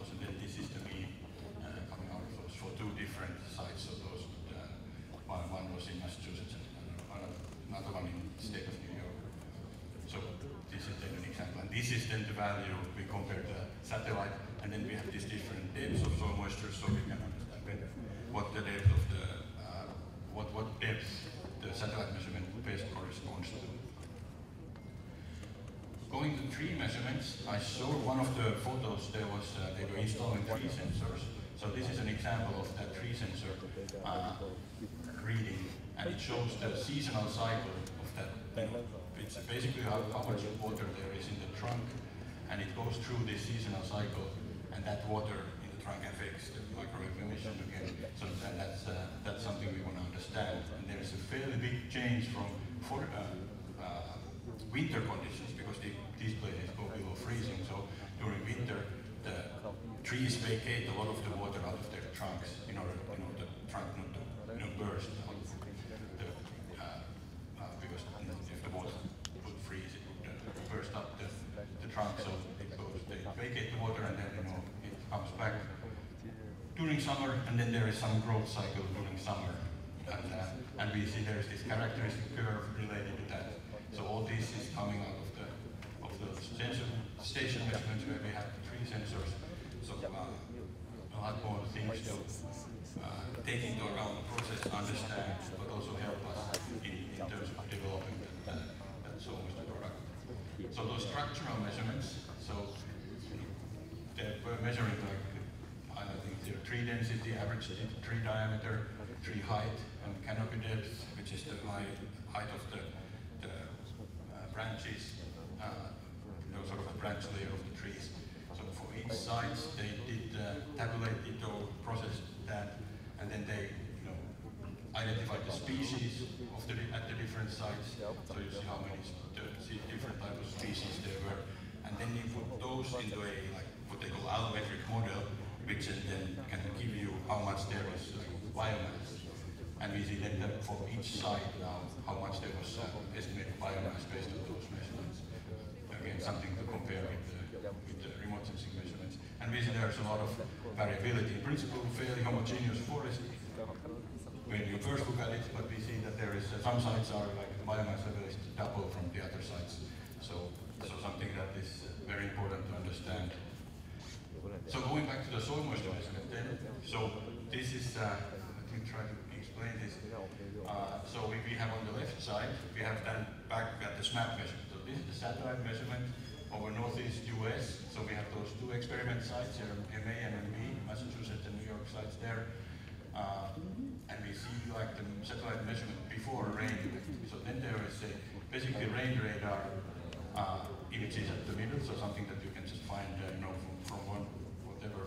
weather forecast or something. So we see there was a couple of rain events went through uh, uh, through that area, and then on the right side we see that that again the same SMAP measurement, and we see it turn from there's a, in the middle there was a lot of uh, red, but now there's a lot of blue. That is the effect of the rain on the ground. Even if it's all forested area there, uh, we can see that that uh, affected the measurement. And in order to quantify that, then we use those measurement from the, from the experiment. So we have now the measured soil moisture on the x-axis and then the, the SMAP measurement on the y-axis, and we do uh, regression and uh, from uh, all data that we have for those sites.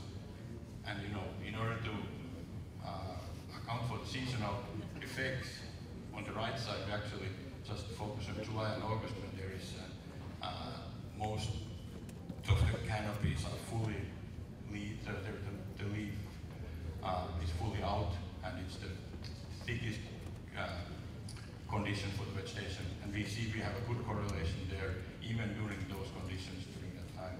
Uh, this is Massachusetts side and same for Millbrook also.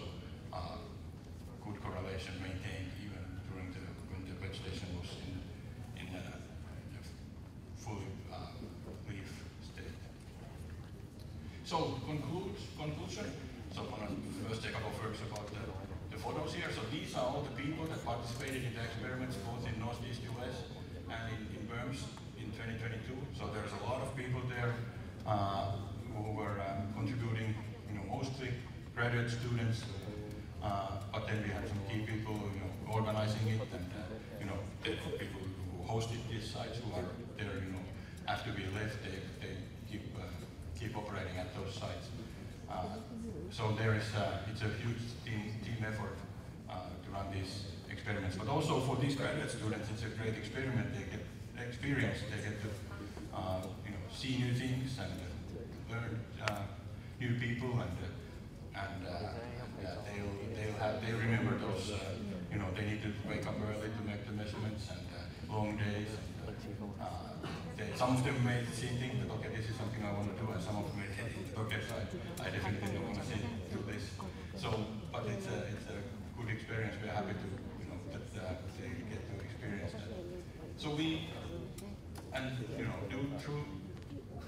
Uh, through these experiment, experiments and the core sites, so we are able to validate spacewalk measurements. Uh, we have uh, these automated networks and, uh, and uh, uh, field experiments, one of some of the tools that we use in this. Uh, and then now we are learning more about forested areas so that we can extend the SMAP measurements through the forested areas and preliminary results show that it should be successful. there's some other people, I just wanted to release this. These are actually not the field experiment people only, these are some of the key people from the field experiment, but then also the people who are running the core sites.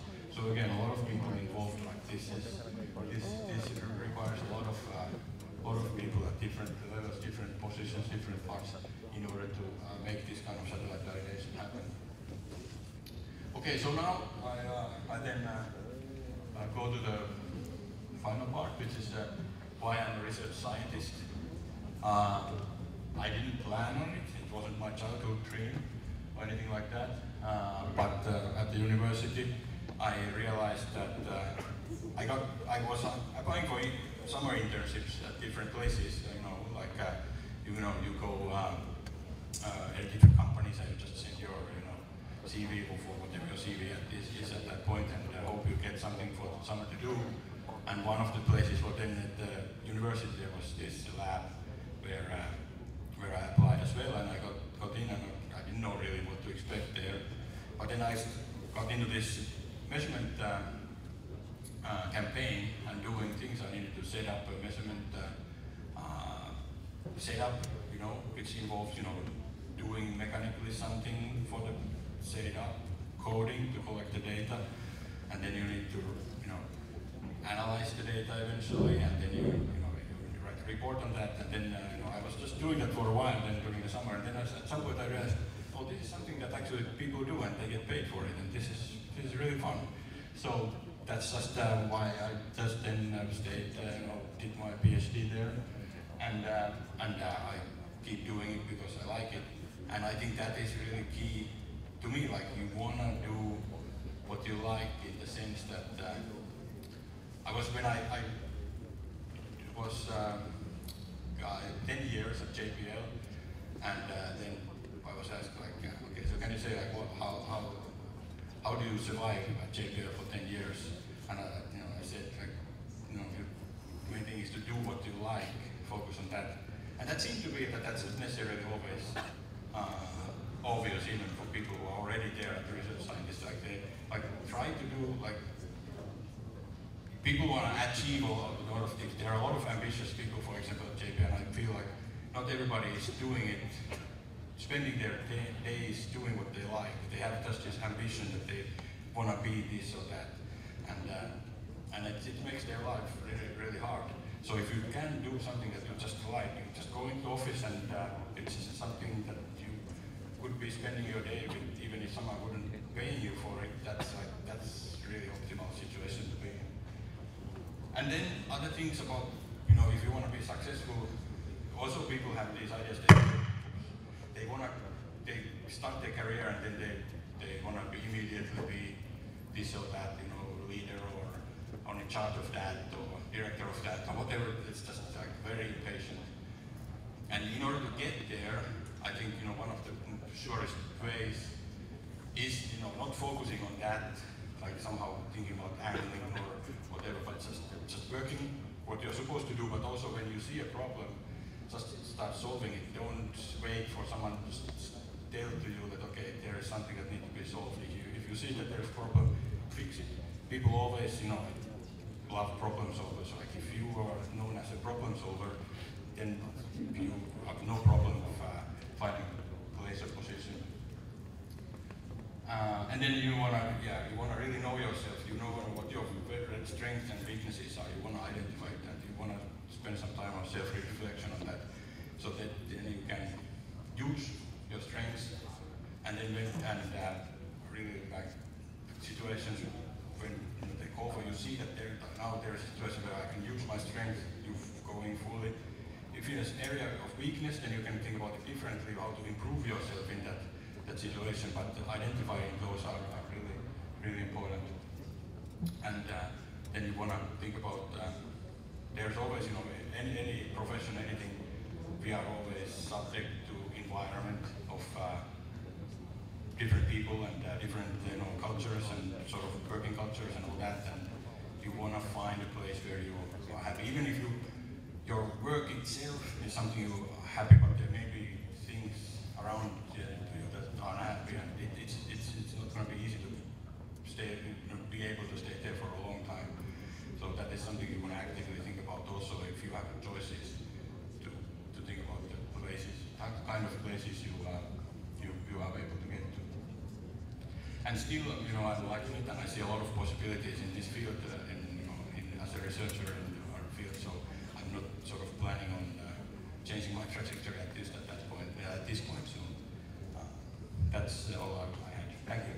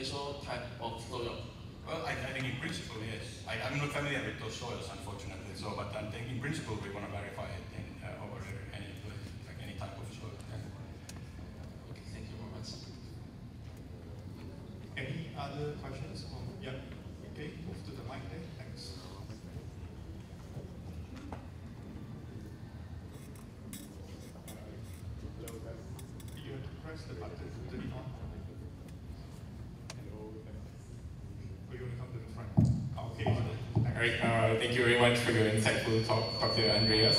So, uh, quick question actually. Uh, am I right in assuming that you're finished actually? Yes. All right, yeah, okay. Uh, so, seeing how you and Dr. Simon have been traveling a lot around the whole world, uh, were there any particular countries in which you found any uh, collecting data was particularly challenging? Or was it all the same throughout the whole world in terms of collecting data? Ah, it's an interesting question. I think there are always challenges that uh, everywhere is challenges, and then you want to overcome those. So, so that's uh, it depends on. I, I don't want to identify any particular place, but I'd say it's, it's whether the you find people, no, need every place, the local people who, who know the conditions and who, who are actively working on that. That that's sort of the key. It's, it would be impossible to just go somewhere and do this kind of messaging if you don't have the local support. And that's sort of uh, what, what unlocks it. All right, Thanks a lot. Uh, maybe I have the last one, then we'll move on to the next part. Uh, you covered why you want to be a research scientist. I think that a burning question to ask. How much, uh, sorry, what is the starting pay for a research scientist? That is what they are always interested in. Because I get a lot of these kind of questions. uh, if I work as this, how much am I going to pay? That's why I asked the first speaker from the US as well, if they work in industry, roughly what is the starting? Uh, interesting. Uh, so I, it varies a lot between universities and places, and I think I just, uh, uh, but it's public information, a lot of it, so I guess I can say some, some, it's uh, with, with less than a bit over 100k, depending on uh, 100k a year, depending on where you are, kind of uh, I think. Yeah. Yeah, So after, after postdoc. After postdoc, about 100k. Around, Yeah, USD. Oh, USD, yeah, definitely USD.